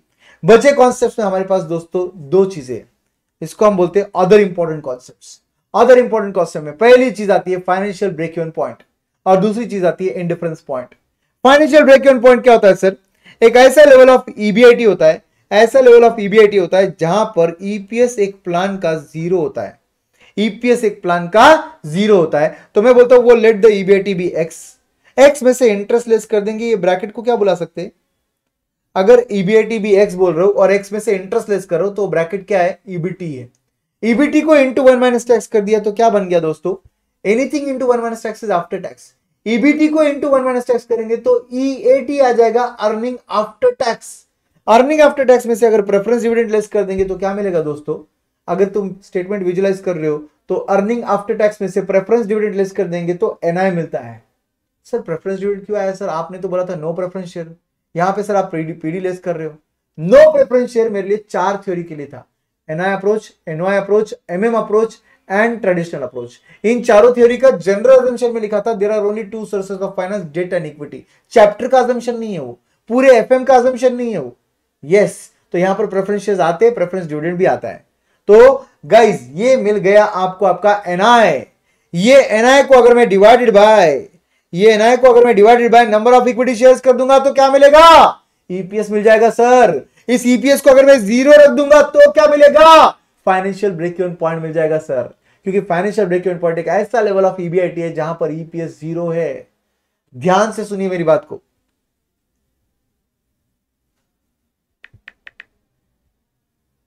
ध्यान से सुनिए मेरी बात को दोस्तों। ऑपरेटिंग ब्रेक इवन पॉइंट तो आपको आता ही है। फाइनेंशियल ब्रेक इवन पॉइंट से रिलेट करने की कोशिश कीजिए। ऑपरेटिंग ब्रेक इवन पॉइंट में सेल्स में से आप लेस करते हो वेरिएबल कॉस्ट आपको मिलता है कंट्रीब्यूशन माइनस करते हो फिक्स कॉस्ट आपको मिलता है ई बी आई टी मतलब ही आप बोलते हो प्रॉफिट प्रॉफिट ज़ीरो ऐसा लेवल ऑफ़ सेल्स को हम बोलते हैं ऑपरेटिंग ब्रेक इवन पॉइंट ऐसा लेवल ऑफ़ प्रॉफिट ज़ीरो कौन सा लेवल ऑफ़ सेल्स है जिसमें प्रॉफिट ज़ीरो है? ऐसा कौन सा लेवल ऑफ़ सेल्स है जिसमें प्रॉफिट ज़ीरो है? उसको बोलते हो ऑपरेटिंग ब्रेक इवन पॉइंट तो फाइनेंशियल ब्रेक इवन पॉइंट में मुझे फाइनेंशियल पार्ट से स्टार्ट करना पड़ेगा। वहाँ पर आपने ऑपरेटिंग पार्ट लिखा है तो यहाँ पर फाइनेंशियल पार्ट लिखना पड़ेगा। तो मैं शुरुआत करूँगा। ईबीआईटी से लेस करेंगे इंटरेस्ट मिलेगा ईबीटी लेस करेंगे टैक्स मिलेगा ईएटी लेस करेंगे प्रेफरेंस डिविडेंड मिलेगा एनआई इससे निकालेंगे ईपीएस और हम क्या बोलेंगे? ईपीएस ज़ीरो होना चाहिए, ऐसा कौन सा लेवल ऑफ़ ईबीआईटी है? ईपीएस ज़ीरो होना चाहिए, ऐसा कौन सा लेवल ऑफ़ ईबीआईटी है? आप समझ रहे हो बात को? तो मैं उसी को अज्यूम कर रहा हूँ एक्स और फिर सॉल्व कर रहा हूँ। इसलिए मेरा फॉर्मूला बन रहा है एक्स माइनस इंटरेस्ट ये मिल गया EBT into one minus tax ये बन गया E A T minus PD ये बन गया N I divided by number of shares ये मिल गया ईपीएस और इसी ईपीएस को मुझे क्या करना है? इसी ईपीएस को ज़ीरो रखना है सर आपको। मतलब एनआई को ही ज़ीरो करना है क्या सर बिल्कुल सही। ईपीएस ज़ीरो रहेगा तो एनआई तो ज़ीरो ही रहेगा ना? यस वैसे भी ये number of shares opposite side जाके मल्टीप्लाई होकर ज़ीरो ही बनने वाले अगर आप इसको सॉल्व करोगे नीचे तो obviously number of shares into zero कर कर ऑब्वियसली एनआई ही ज़ीरो ले रहे आप।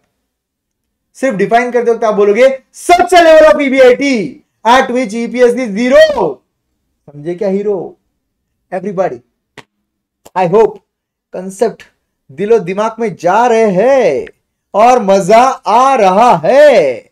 Yes that is called as financial break point for you अब आते हैं दोस्तों इंडिफरेंस पॉइंट की तरफ़। इंडिफरेंस पॉइंट इंडिफरेंस पॉइंट मतलब क्या होता है? ये दे दो या वो दे दो, कोई फ़र्क नहीं करेगा। उसको बोलते हैं इंडिफरेंस पॉइंट ये दे दो, वो दे दो मतलब प्लान की बात कर रहा था मैं। प्लान ए दे दो या प्लान बी दे दो, कोई फ़र्क नहीं करेगा। क्या मुझे फाइनेंसिंग करना है? डेट इक्विटी का प्रोपोर्शन अलग अलग है। एक डेट प्लान है, एक इक्विटी प्लान है। या तो इधर डेट इक्विटी सिक्सटी फोर्टी उधर डेट इक्विटी सेवेंटी थर्टी है। तो दो प्लान अलग है। मुझे दोनों प्लान में से कोई भी प्लान दे दो, मुझे कोई फ़र्क नहीं करेगा। उस चीज़ को बोलते हैं आप लोग इंडिफरेंस पॉइंट तो दो प्लान के बीच आप इंडिफरेंट कब रहोगे? दो प्लान के बीच सर हम इंडिफरेंट कब रहेंगे जब दो प्लान का स्टार्ट और एंड सेम है सर दो प्लान का स्टार्ट ईबीआईटी एक्स एक्स दोनों प्लान का एंड ईपीएस सेम है सर अगर दो प्लान के बीच ईपीएस सेम मिल रहा है और ईबीआईटी सेम रखा है स्टार्टिंग में तो मुझे दोनों में से कोई भी प्लान दे दो, मुझे क्या फ़र्क गिरेगा? मेरा स्टार्ट सेम है, मेरा एंड सेम है. दोनों प्लान में EBIT EBIT same same EPS EPS जो भी आएगा सेम सेम आएगा. तो मुझे क्या फ़र्क गिरेगा? मुझे प्लान ए दे दो या मुझे प्लान बी दे दो? That is called as indifference point तो इन डिफरेंस पॉइंट क्या बोलता है? Is that level of EBIT फिर से ईबीआईटी को एक सजिम करना पड़ेगा। At which EPS under two plan is same याद रखिए इंडिफरेंस पॉइंट कभी भी दो प्लान के बीच निकलता है। इंडिफरेंस पॉइंट कभी भी दो प्लान के बीच निकलता है। जबकि फाइनेंशियल ब्रेक इवन पॉइंट के अंदर अंडर अ प्लान बोला था मतलब सिंगल प्लान के लिए निकलता है। आप जब फाइनेंशियल ब्रेक इवन पॉइंट निकाल रहे थे तो एक सिंगल प्लान की बात कर रहे थे। जब आप इंडिफरेंस पॉइंट की बात कर रहे हो तो दो प्लान की बात कर रहे हो। नीचे देख लीजिए। Plan A plan B plan A का ईपीएस ये सेम चीज़ जो यहाँ लिखी थी ईपीएस वाली। इज़ इक्वल टू ज़ीरो के जगह इज़ इक्वल टू दूसरा ईपीएस लिखना है सर प्लान ए का ईपीएस अगर प्लान बी का ईपीएस में सेम रखता हूँ, और ऑब्वियसली एक्स का सॉल्व कर, मैं साइमल्टेनियस इक्वेशन सॉल्व कर रहा हूँ, मैं एक्स की वैल्यू ढूंढ रहा हूँ, मैं तो ऑब्वियसली बात है कि इसको मैं बुलाऊँगा इन डिफरेंस पॉइंट बहुत मज़े। यस दोस्तों, ऐसे केस में हमने सॉल्व किया है पूरा का पूरा चैप्टर यस इसके बाद ये कुछ थ्योरीज है जो आपके सिलेबस में डायरेक्टली दी नहीं है, मगर मैं आपको फिर भी ब्रीफ आउट कर देता हूँ। ये थ्योरीज जो है, ये आपके सिलेबस में नहीं है। सीए के सिलेबस में सीए सीए के सिलेबस में सीएमए के सिलेबस में डायरेक्टली दिया नहीं है। बट मुझे डर है कि कहीं ना कहीं ये कुछ पूछ सकते हैं पार्ट इसलिए मैंने ट्रेड ऑफ़ थ्योरी और पिकिंग ऑर्डर थ्योरी ये दोनों थ्योरी यहाँ पर आपके सिलेबस में रख दी है ट्रेड ऑफ़ थ्योरी क्या बोलती है? ध्यान से सुनो, बहुत सिंपल है। ट्रेड ऑफ़ का मतलब होता है बैलेंस करना। ट्रेड ऑफ़ का मतलब होता है बैलेंस करना। तो दोस्तों, ये थ्योरी बोलता है इक्विटी और डेट के अंदर बैलेंस कर। कॉस्ट बेनिफिट देख और इक्विटी और डेट के अंदर बैलेंस कर। कभी भी याद रख, ज़्यादा डेट बढ़ाएगा तो फाइनेंशियल डिस्ट्रेस बढ़ेगा और एजेंसी कॉस्ट भी बढ़ सकता है। तो नो डाउट अबाउट इट तेरे को देखना पड़ेगा फाइनेंशियल ब्रेक मतलब जो ज़्यादा डेट बढ़ाएगा तो फाइनेंशियल डिस्ट्रेस तो नहीं ज़्यादा बढ़ रहा है कॉस्ट तो नहीं ज़्यादा बढ़ रहा है, तुझे अल्टीमेटली बैंक कॉस्ट वगैरह सब कुछ कंसिडर करना पड़ता है जब तू डेट बढ़ता है, बढ़ाता है। नो डाउट डेट के साथ बेनिफिट मिलते हैं। डेट के साथ बेनिफिट मिलते हैं टैक्स शील्ड मिलती है टैक्स बेनिफिट आते हैं तुझे। बट डेट के साथ रिस्क भी तो आता है। डेट के साथ बैंक का रिस्क भी तो आता है। तो तू थोड़ा सा बैलेंस कर। कॉस्ट बेनिफिट दोनों को देखकर बैलेंस कर, इसलिए इसका नाम है trade off theory trade off theory बोलता है कि भाई थोड़ा सा दिक्कत आ सकती है। सर एजेंसी प्रॉब्लम क्या होता है? सर एजेंसी प्रॉब्लम क्या होता है? एजेंसी प्रॉब्लम का मतलब होता है कि जब तुम तुम्हारे मैनेजर्स को अपॉइंट करते हो बोर्ड ऑफ़ डायरेक्टर्स को अपॉइंट करते हो तुम्हारी कंपनी मैनेज करने के लिए तो वो क्या कर रहे हैं? वो खुद का बेनिफिट आगे रख रहे हैं। वो एजेंट है कंपनी के। मगर वो क्या कर रहे हैं? पर्सनल बेनिफिट आगे रख रहे हैं और कंपनी का बेनिफिट पीछे रख रहे हैं। इस प्रॉब्लम को बोलते हैं एजेंसी प्रॉब्लम और इस प्रॉब्लम को सॉल्व करने के लिए जो कॉस्ट लगता है, उसको बोलते हैं एजेंसी कॉस्ट तो agency problem agency cost agency problem क्या होता है सर फिर से एक बार बताइए ना सर एजेंसी प्रॉब्लम का मतलब होता है जो हमारे बोर्ड ऑफ़ डायरेक्टर्स होते हैं ना कंपनी के, जिसको हम बीओडी बोलते हैं। वो बीओडी बोर्ड ऑफ़ डायरेक्टर्स क्या करते हैं? उनके पास अथॉरिटी होती है कंपनी को मैनेज करने की। तो वो क्या कर रहे हैं? वो खुद का बेनिफिट आगे रख रहे हैं और कंपनी का बेनिफिट पीछे रख रहे हैं। खुद के पर्सनल बेनिफिट के लिए डिसीज़न मेकिंग करेंगे और कंपनी के बेनिफिट्स को देखेंगे नहीं, उसको बोलते एजेंसी प्रॉब्लम और उस प्रॉब्लम को सॉल्व करने के लिए कंपनी को कुछ कॉस्ट इनकर करना पड़ता है, उसको बोलते हैं एजेंसी कॉस्ट तो ये प्रॉब्लम्स ये कॉस्ट को देखना पड़ता है जब हम डेट इक्विटी की बात करते तब। और दोस्तों, हमारे डेट इक्विटी के केस में ट्रेड ऑफ़ थ्योरी में हमें दिख रहा है कि कुछ एक्सटेंट तक हमें बेनिफिट मिलता है। अगर आप लिवर्ड फर्म की बात करोगे, देखो ट्रेड ऑफ़ थ्योरी क्या कर रहा है? डेट इक्विटी में बैलेंस कर रहा है। क्या कर रहा है? डेट इक्विटी में बैलेंस कर रहा है। इसलिए उसका नाम है ट्रेड ऑफ़ थ्योरी ये बोलता है ये जो अनलिवर्ड फॉर्म है, उसका वैल्यू तो कांस्टेंट ही रहेगा। जितना तुम डेट बढ़ाते जाओगे, उतना तुम्हारा present value of interest tax बढ़ता जाएगा वैल्यू ऑफ़ फॉर्म भी बढ़ता जाएगा। नो डाउट अबाउट इट तुम्हारे पास यहाँ पर वैल्यू ऑफ़ फॉर्म बढ़ रहा है, बढ़ रहा है, बढ़ रहा है, मज़ा आ रहा है। बट एक एक्सटेंड तक ये मज़ा आ रहा है, यहाँ पर आकर रुक जाना चाहिए, ये आपका ऑप्टिमम डेट इक्विटी मिक्स था। इसके आगे डेट मत बढ़ाना। इसके आगे डेट बढ़ाओगे तो कॉस्ट भी बढ़ता जाएगा। कंपनी का वैल्यू जो है, वो कम होता जाएगा। और फाइनेंशियल डिस्ट्रेस आता जाएगा कंपनी में। तो थोड़ा सा कॉस्ट को देखते हुए कॉस्ट को देखते हुए आगे बढ़ना चाहिए। इसको बोलते हैं trade off theory cost benefit को देखते हुए आगे बढ़ना चाहिए, उसको बोलते हैं ट्रेड ऑफ़ थ्योरी यस दोस्तों। पीकिंग ऑर्डर थ्योरी बहुत सिंपल है दोस्तों। पीकिंग ऑर्डर थ्योरी बोलता है, एक ऑर्डर में फंड रेस कर। एक ऑर्डर में फंड रेस कर। वो ऑर्डर क्या है सर कोई भी एक्सपांशन करना है तुझे। आज से दो साल बाद तुझे मस्टरी बाय करनी है। तो सबसे पहले मस्टरी का पैसा इंटरनल फाइनेंसिंग से लाना चाहिए तूने। सर इंटरनल फाइनेंसिंग का मतलब क्या होता है? Reserve and surplus reserve and surplus से लाना चाहिए। अगर पैसा कम गिर जाए तो डेट यूज़ करना चाहिए। तो प्रायोरिटी नंबर वन क्या है? रिज़र्व एंड सरप्लस मतलब internal financing priority number two क्या है? मशीन के लिए पैसा कम गिर रहा है लोन ले ले भाई। पैसा और भी कम गिर रहा है तो इक्विटी यूज़ कर। इक्विटी इश्यू कर। इक्विटी इश्यू करना according to this theory pecking order theory बोलता है, asymmetric information is the biggest problem. What is the meaning of asymmetric information? किसी एक पार्टी के पास एक इंफॉर्मेशन है, किसी और पार्टी के पास दूसरी इंफॉर्मेशन है। मार्केट में यूनिफॉर्मिटी है ही नहीं इंफॉर्मेशन की। यूनिफॉर्मिटी को बोलते हैं सिमेट्री मार्केट में होता है असिमेट्रिक इन्फॉर्मेशन तो जब आप ज़्यादा शेयर इश्यू करते हो ना मार्केट में तो ये बैड सिग्नल देता है मार्केट के लिए। Frequent issue of share is a bad signal for market जो कंपनी बार बार शेयर इश्यू करता है इन्वेस्टर्स को लगता है कंपनी में कुछ ना कुछ गड़बड़ है। फाइनेंशियल प्रॉब्लम है कंपनी में कुछ ना कुछ। कुछ ना कुछ फाइनेंशियल डिफिकल्टी फेस कर रहा है कंपनी इसलिए फ्रीक्वेंट शेयर इश्यू करो मत। जो भी फाइनेंसिंग जो भी तुम्हारा एक्सपांशन प्लान है मशरी बाय करना है, दो साल बाद प्लांट स्टार्ट करना है, चार साल बाद स्टार्ट करना है तो पहले रिज़र्व एंड सरप्लस से फाइनेंसिंग करो। एक्स जो इंटरनली जनरेटेड फंड्स है ना, अपने ही प्रॉफिट जो अपने पास रखे गए ना, उससे फाइनेंसिंग करो। और वो सफिशियंट नहीं रहेगा ना तो डेट लो वो भी सफिशियंट नहीं रहेगा ना तो लास्ट ऑप्शन इक्विटी को रख। ये होता है पीकिंग ऑर्डर थ्योरी ये किस पर बिलीव करता है? असिमेट्रिक इंफॉर्मेशन पे बिलीव करता है। ये बोलता है, सभी पार्टीज़ के पास तेरा कंपनी का करेक्ट इंफॉर्मेशन नहीं है। तो बेटर रहेगा कि तू बार बार शेयर इश्यू मत कर। Frequent issue of share is a bad signal for market इसलिए issue of share should be your last choice your first choice should be internal financing reserve surplus your second choice should be debt and your last choice should be equity that's pecking order theory for you अब बचा एक ही part इस chapter का, वो है आपका marginal cost of capital बहुत simple है दोस्तों मार्जिनल कॉस्ट ऑफ़ कैपिटल बिल्कुल weighted average cost of capital जैसे ही है।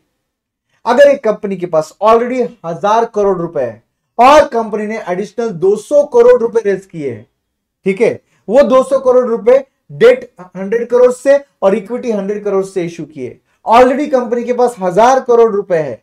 मैं एग्जांपल लूँगा तो और बेटर समझेगा। ये देखिए कंपनी के पास थाउज़ेंड करोड़ है। कंपनी ने और 200 करोड़ रेस किए।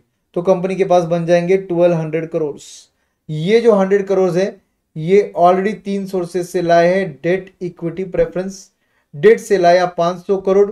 इक्विटी से लाया 300 करोड़। प्रेफरेंस से लाया 200 करोड़। ठीक है? 500 crore 300 crore 200 crore debt equity preference ये था आपका एग्जिस्टिंग ये थे आपके एग्जिस्टिंग कैपिटल अब कंपनी सोच रही है एक्सपांशन करें। एक्सपांशन के लिए कितना पैसा लग रहा है? 200 करोड़ रुपए लग रहा है। एक्सपांशन के लिए।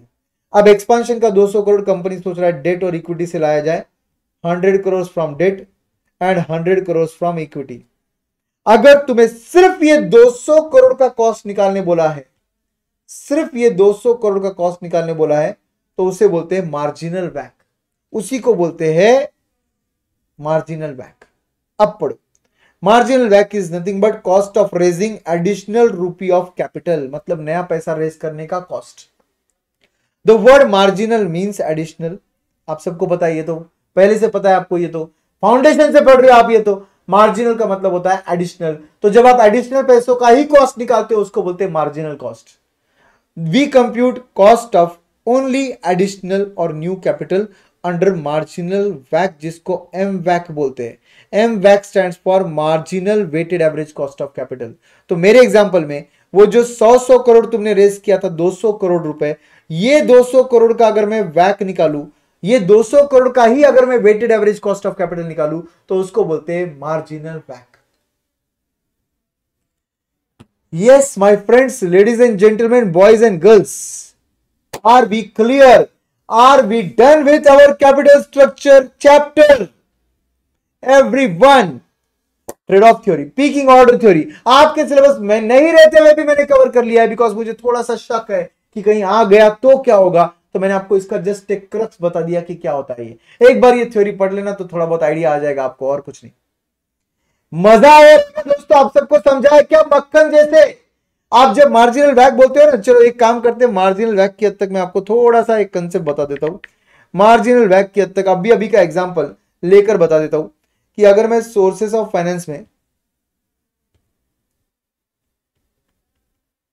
सोर्स ऑफ़ फाइनेंस में यहाँ पर अमाउंट रख दू, यहाँ पर प्रपोर्शन ले लू और यहाँ पर मैंने इंडिविजुअल कॉस्ट रखा है।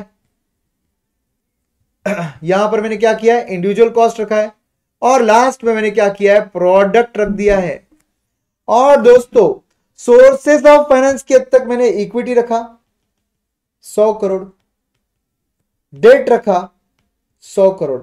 मेरे कंपनी के पास पैसा कितना था दोस्तों? हज़ार प्लस दो सौ। बारह सौ करोड़ था one thousand two hundred crore. मगर मैं ऊपर का दो सौ करोड़ का ही कॉस्ट ले रहा हूँ। तो इसे बोलते हैं मार्जिनल बैक इस केस में ये टोटल आएगा और प्रपोर्शन आएगा मेरा पॉइंट फाइव प्रपोर्शन आएगा पॉइंट फाइव सपोज़ इक्विटी का कॉस्ट है फोर्टीन परसेंट डेट का कॉस्ट है नाइन परसेंट तो ऑब्वियसली बात है, ये आ जाएगा सेवन परसेंट और ये आ जाएगा फोर पॉइंट फाइव परसेंट और मेरा ओवरऑल कॉस्ट आ जाएगा इलेवन पॉइंट फाइव परसेंट इस इलेवन पॉइंट फाइव को बोलते हैं मार्जिनल वैक इस 11.5 को बोलते हैं मार्जिनल वैक।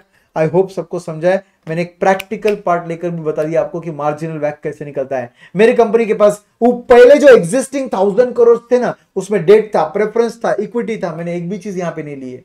मैंने सिर्फ़ एडिशनल 200 करोड़ रुपए जो रेस किया, सिर्फ़ उसी का अमाउंट लिखा है उसी का प्रपोर्शन निकाला है, उसी का इंडिविजुअल कॉस्ट निकाला है और उसी को यहाँ पर रखा है और मल्टीप्लाई कर प्रोडक्ट निकाला है। प्रोडक्ट का टोटल जो आएगा, वो रहेगा मेरा marginal fact for you guys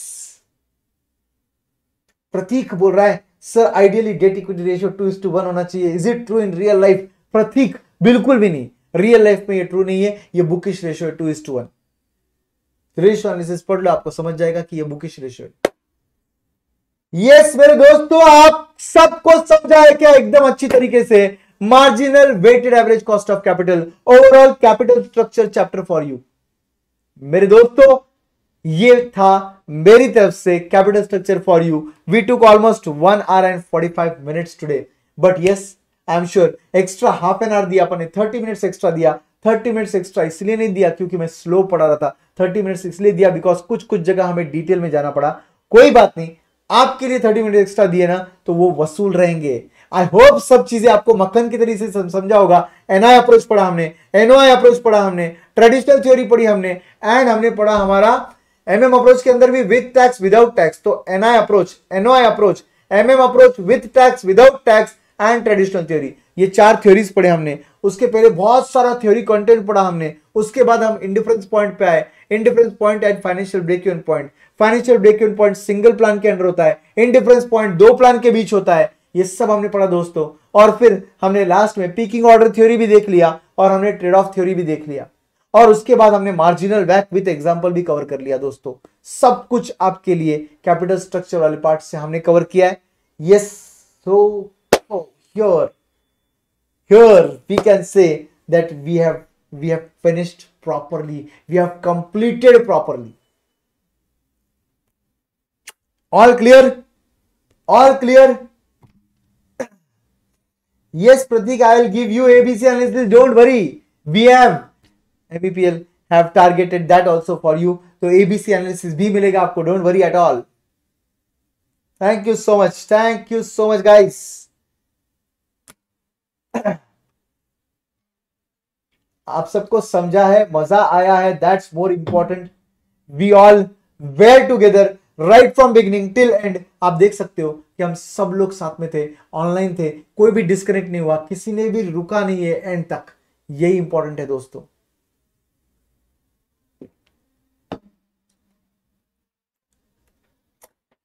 Yes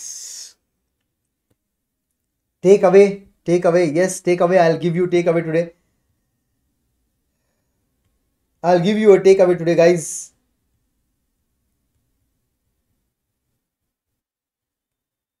And आज का टेक अवे फिर से मैं कोई स्टोरी फॉर्म में नहीं बताऊँगा. डायरेक्टली आपको कंक्लूजन लिख कर दे दूँगा. यहाँ पर टेक अवे आपको क्या याद रखना है? Your takeaway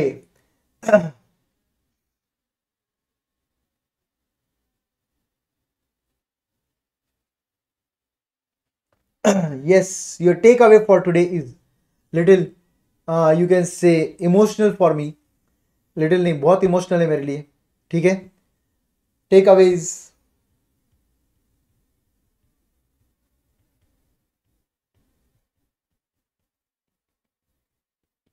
remember this sentence guys this is your takeaway for today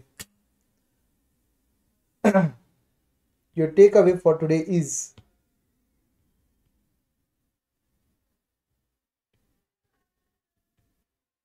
the show must go on. The show must go on. That is the takeaway for you today, guys. So, takeaway for you today is the show must go on.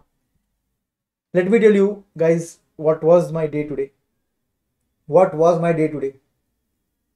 Early morning early morning बोलने से अच्छा रात कल रात दो बजे जब मैं सो रहा था मुझे कॉल आता है मेरे मोबाइल पे और मुझे पता चलता है कि my very own uncle who is just sixty two years old is no more दो बजे रात में पता चलता है रात भर ऑब्वियसली सो नहीं पाते और uncle my very own uncle I lost him today I went for the funeral I completed all the funeral obviously i have lot of emotions lot of respect for him i completed that But the show must go on. So, guys, I was here in front of you, completing all my responsibilities with the same momentum, with the same laughter face.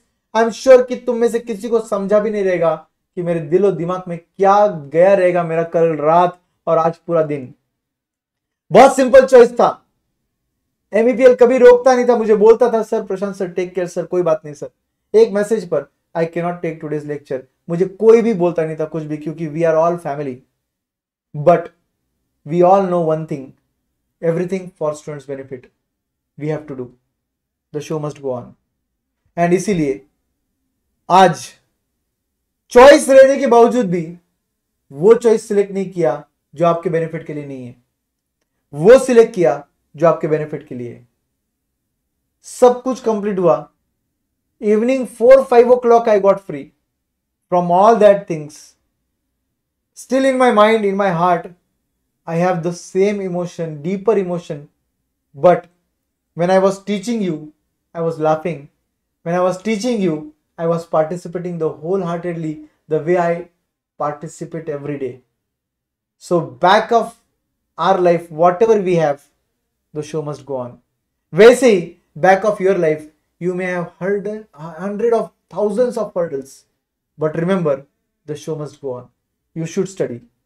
याद रखिए दस बहाने मिलेंगे आपको नहीं करने के एक रीजन जो होना है ना सीएमए बनना है ये एक रीजन इतना स्ट्रांग होना चाहिए कि दस रीजन फीके गिर जाना चाहिए हमारे पास हमारे सामने so guys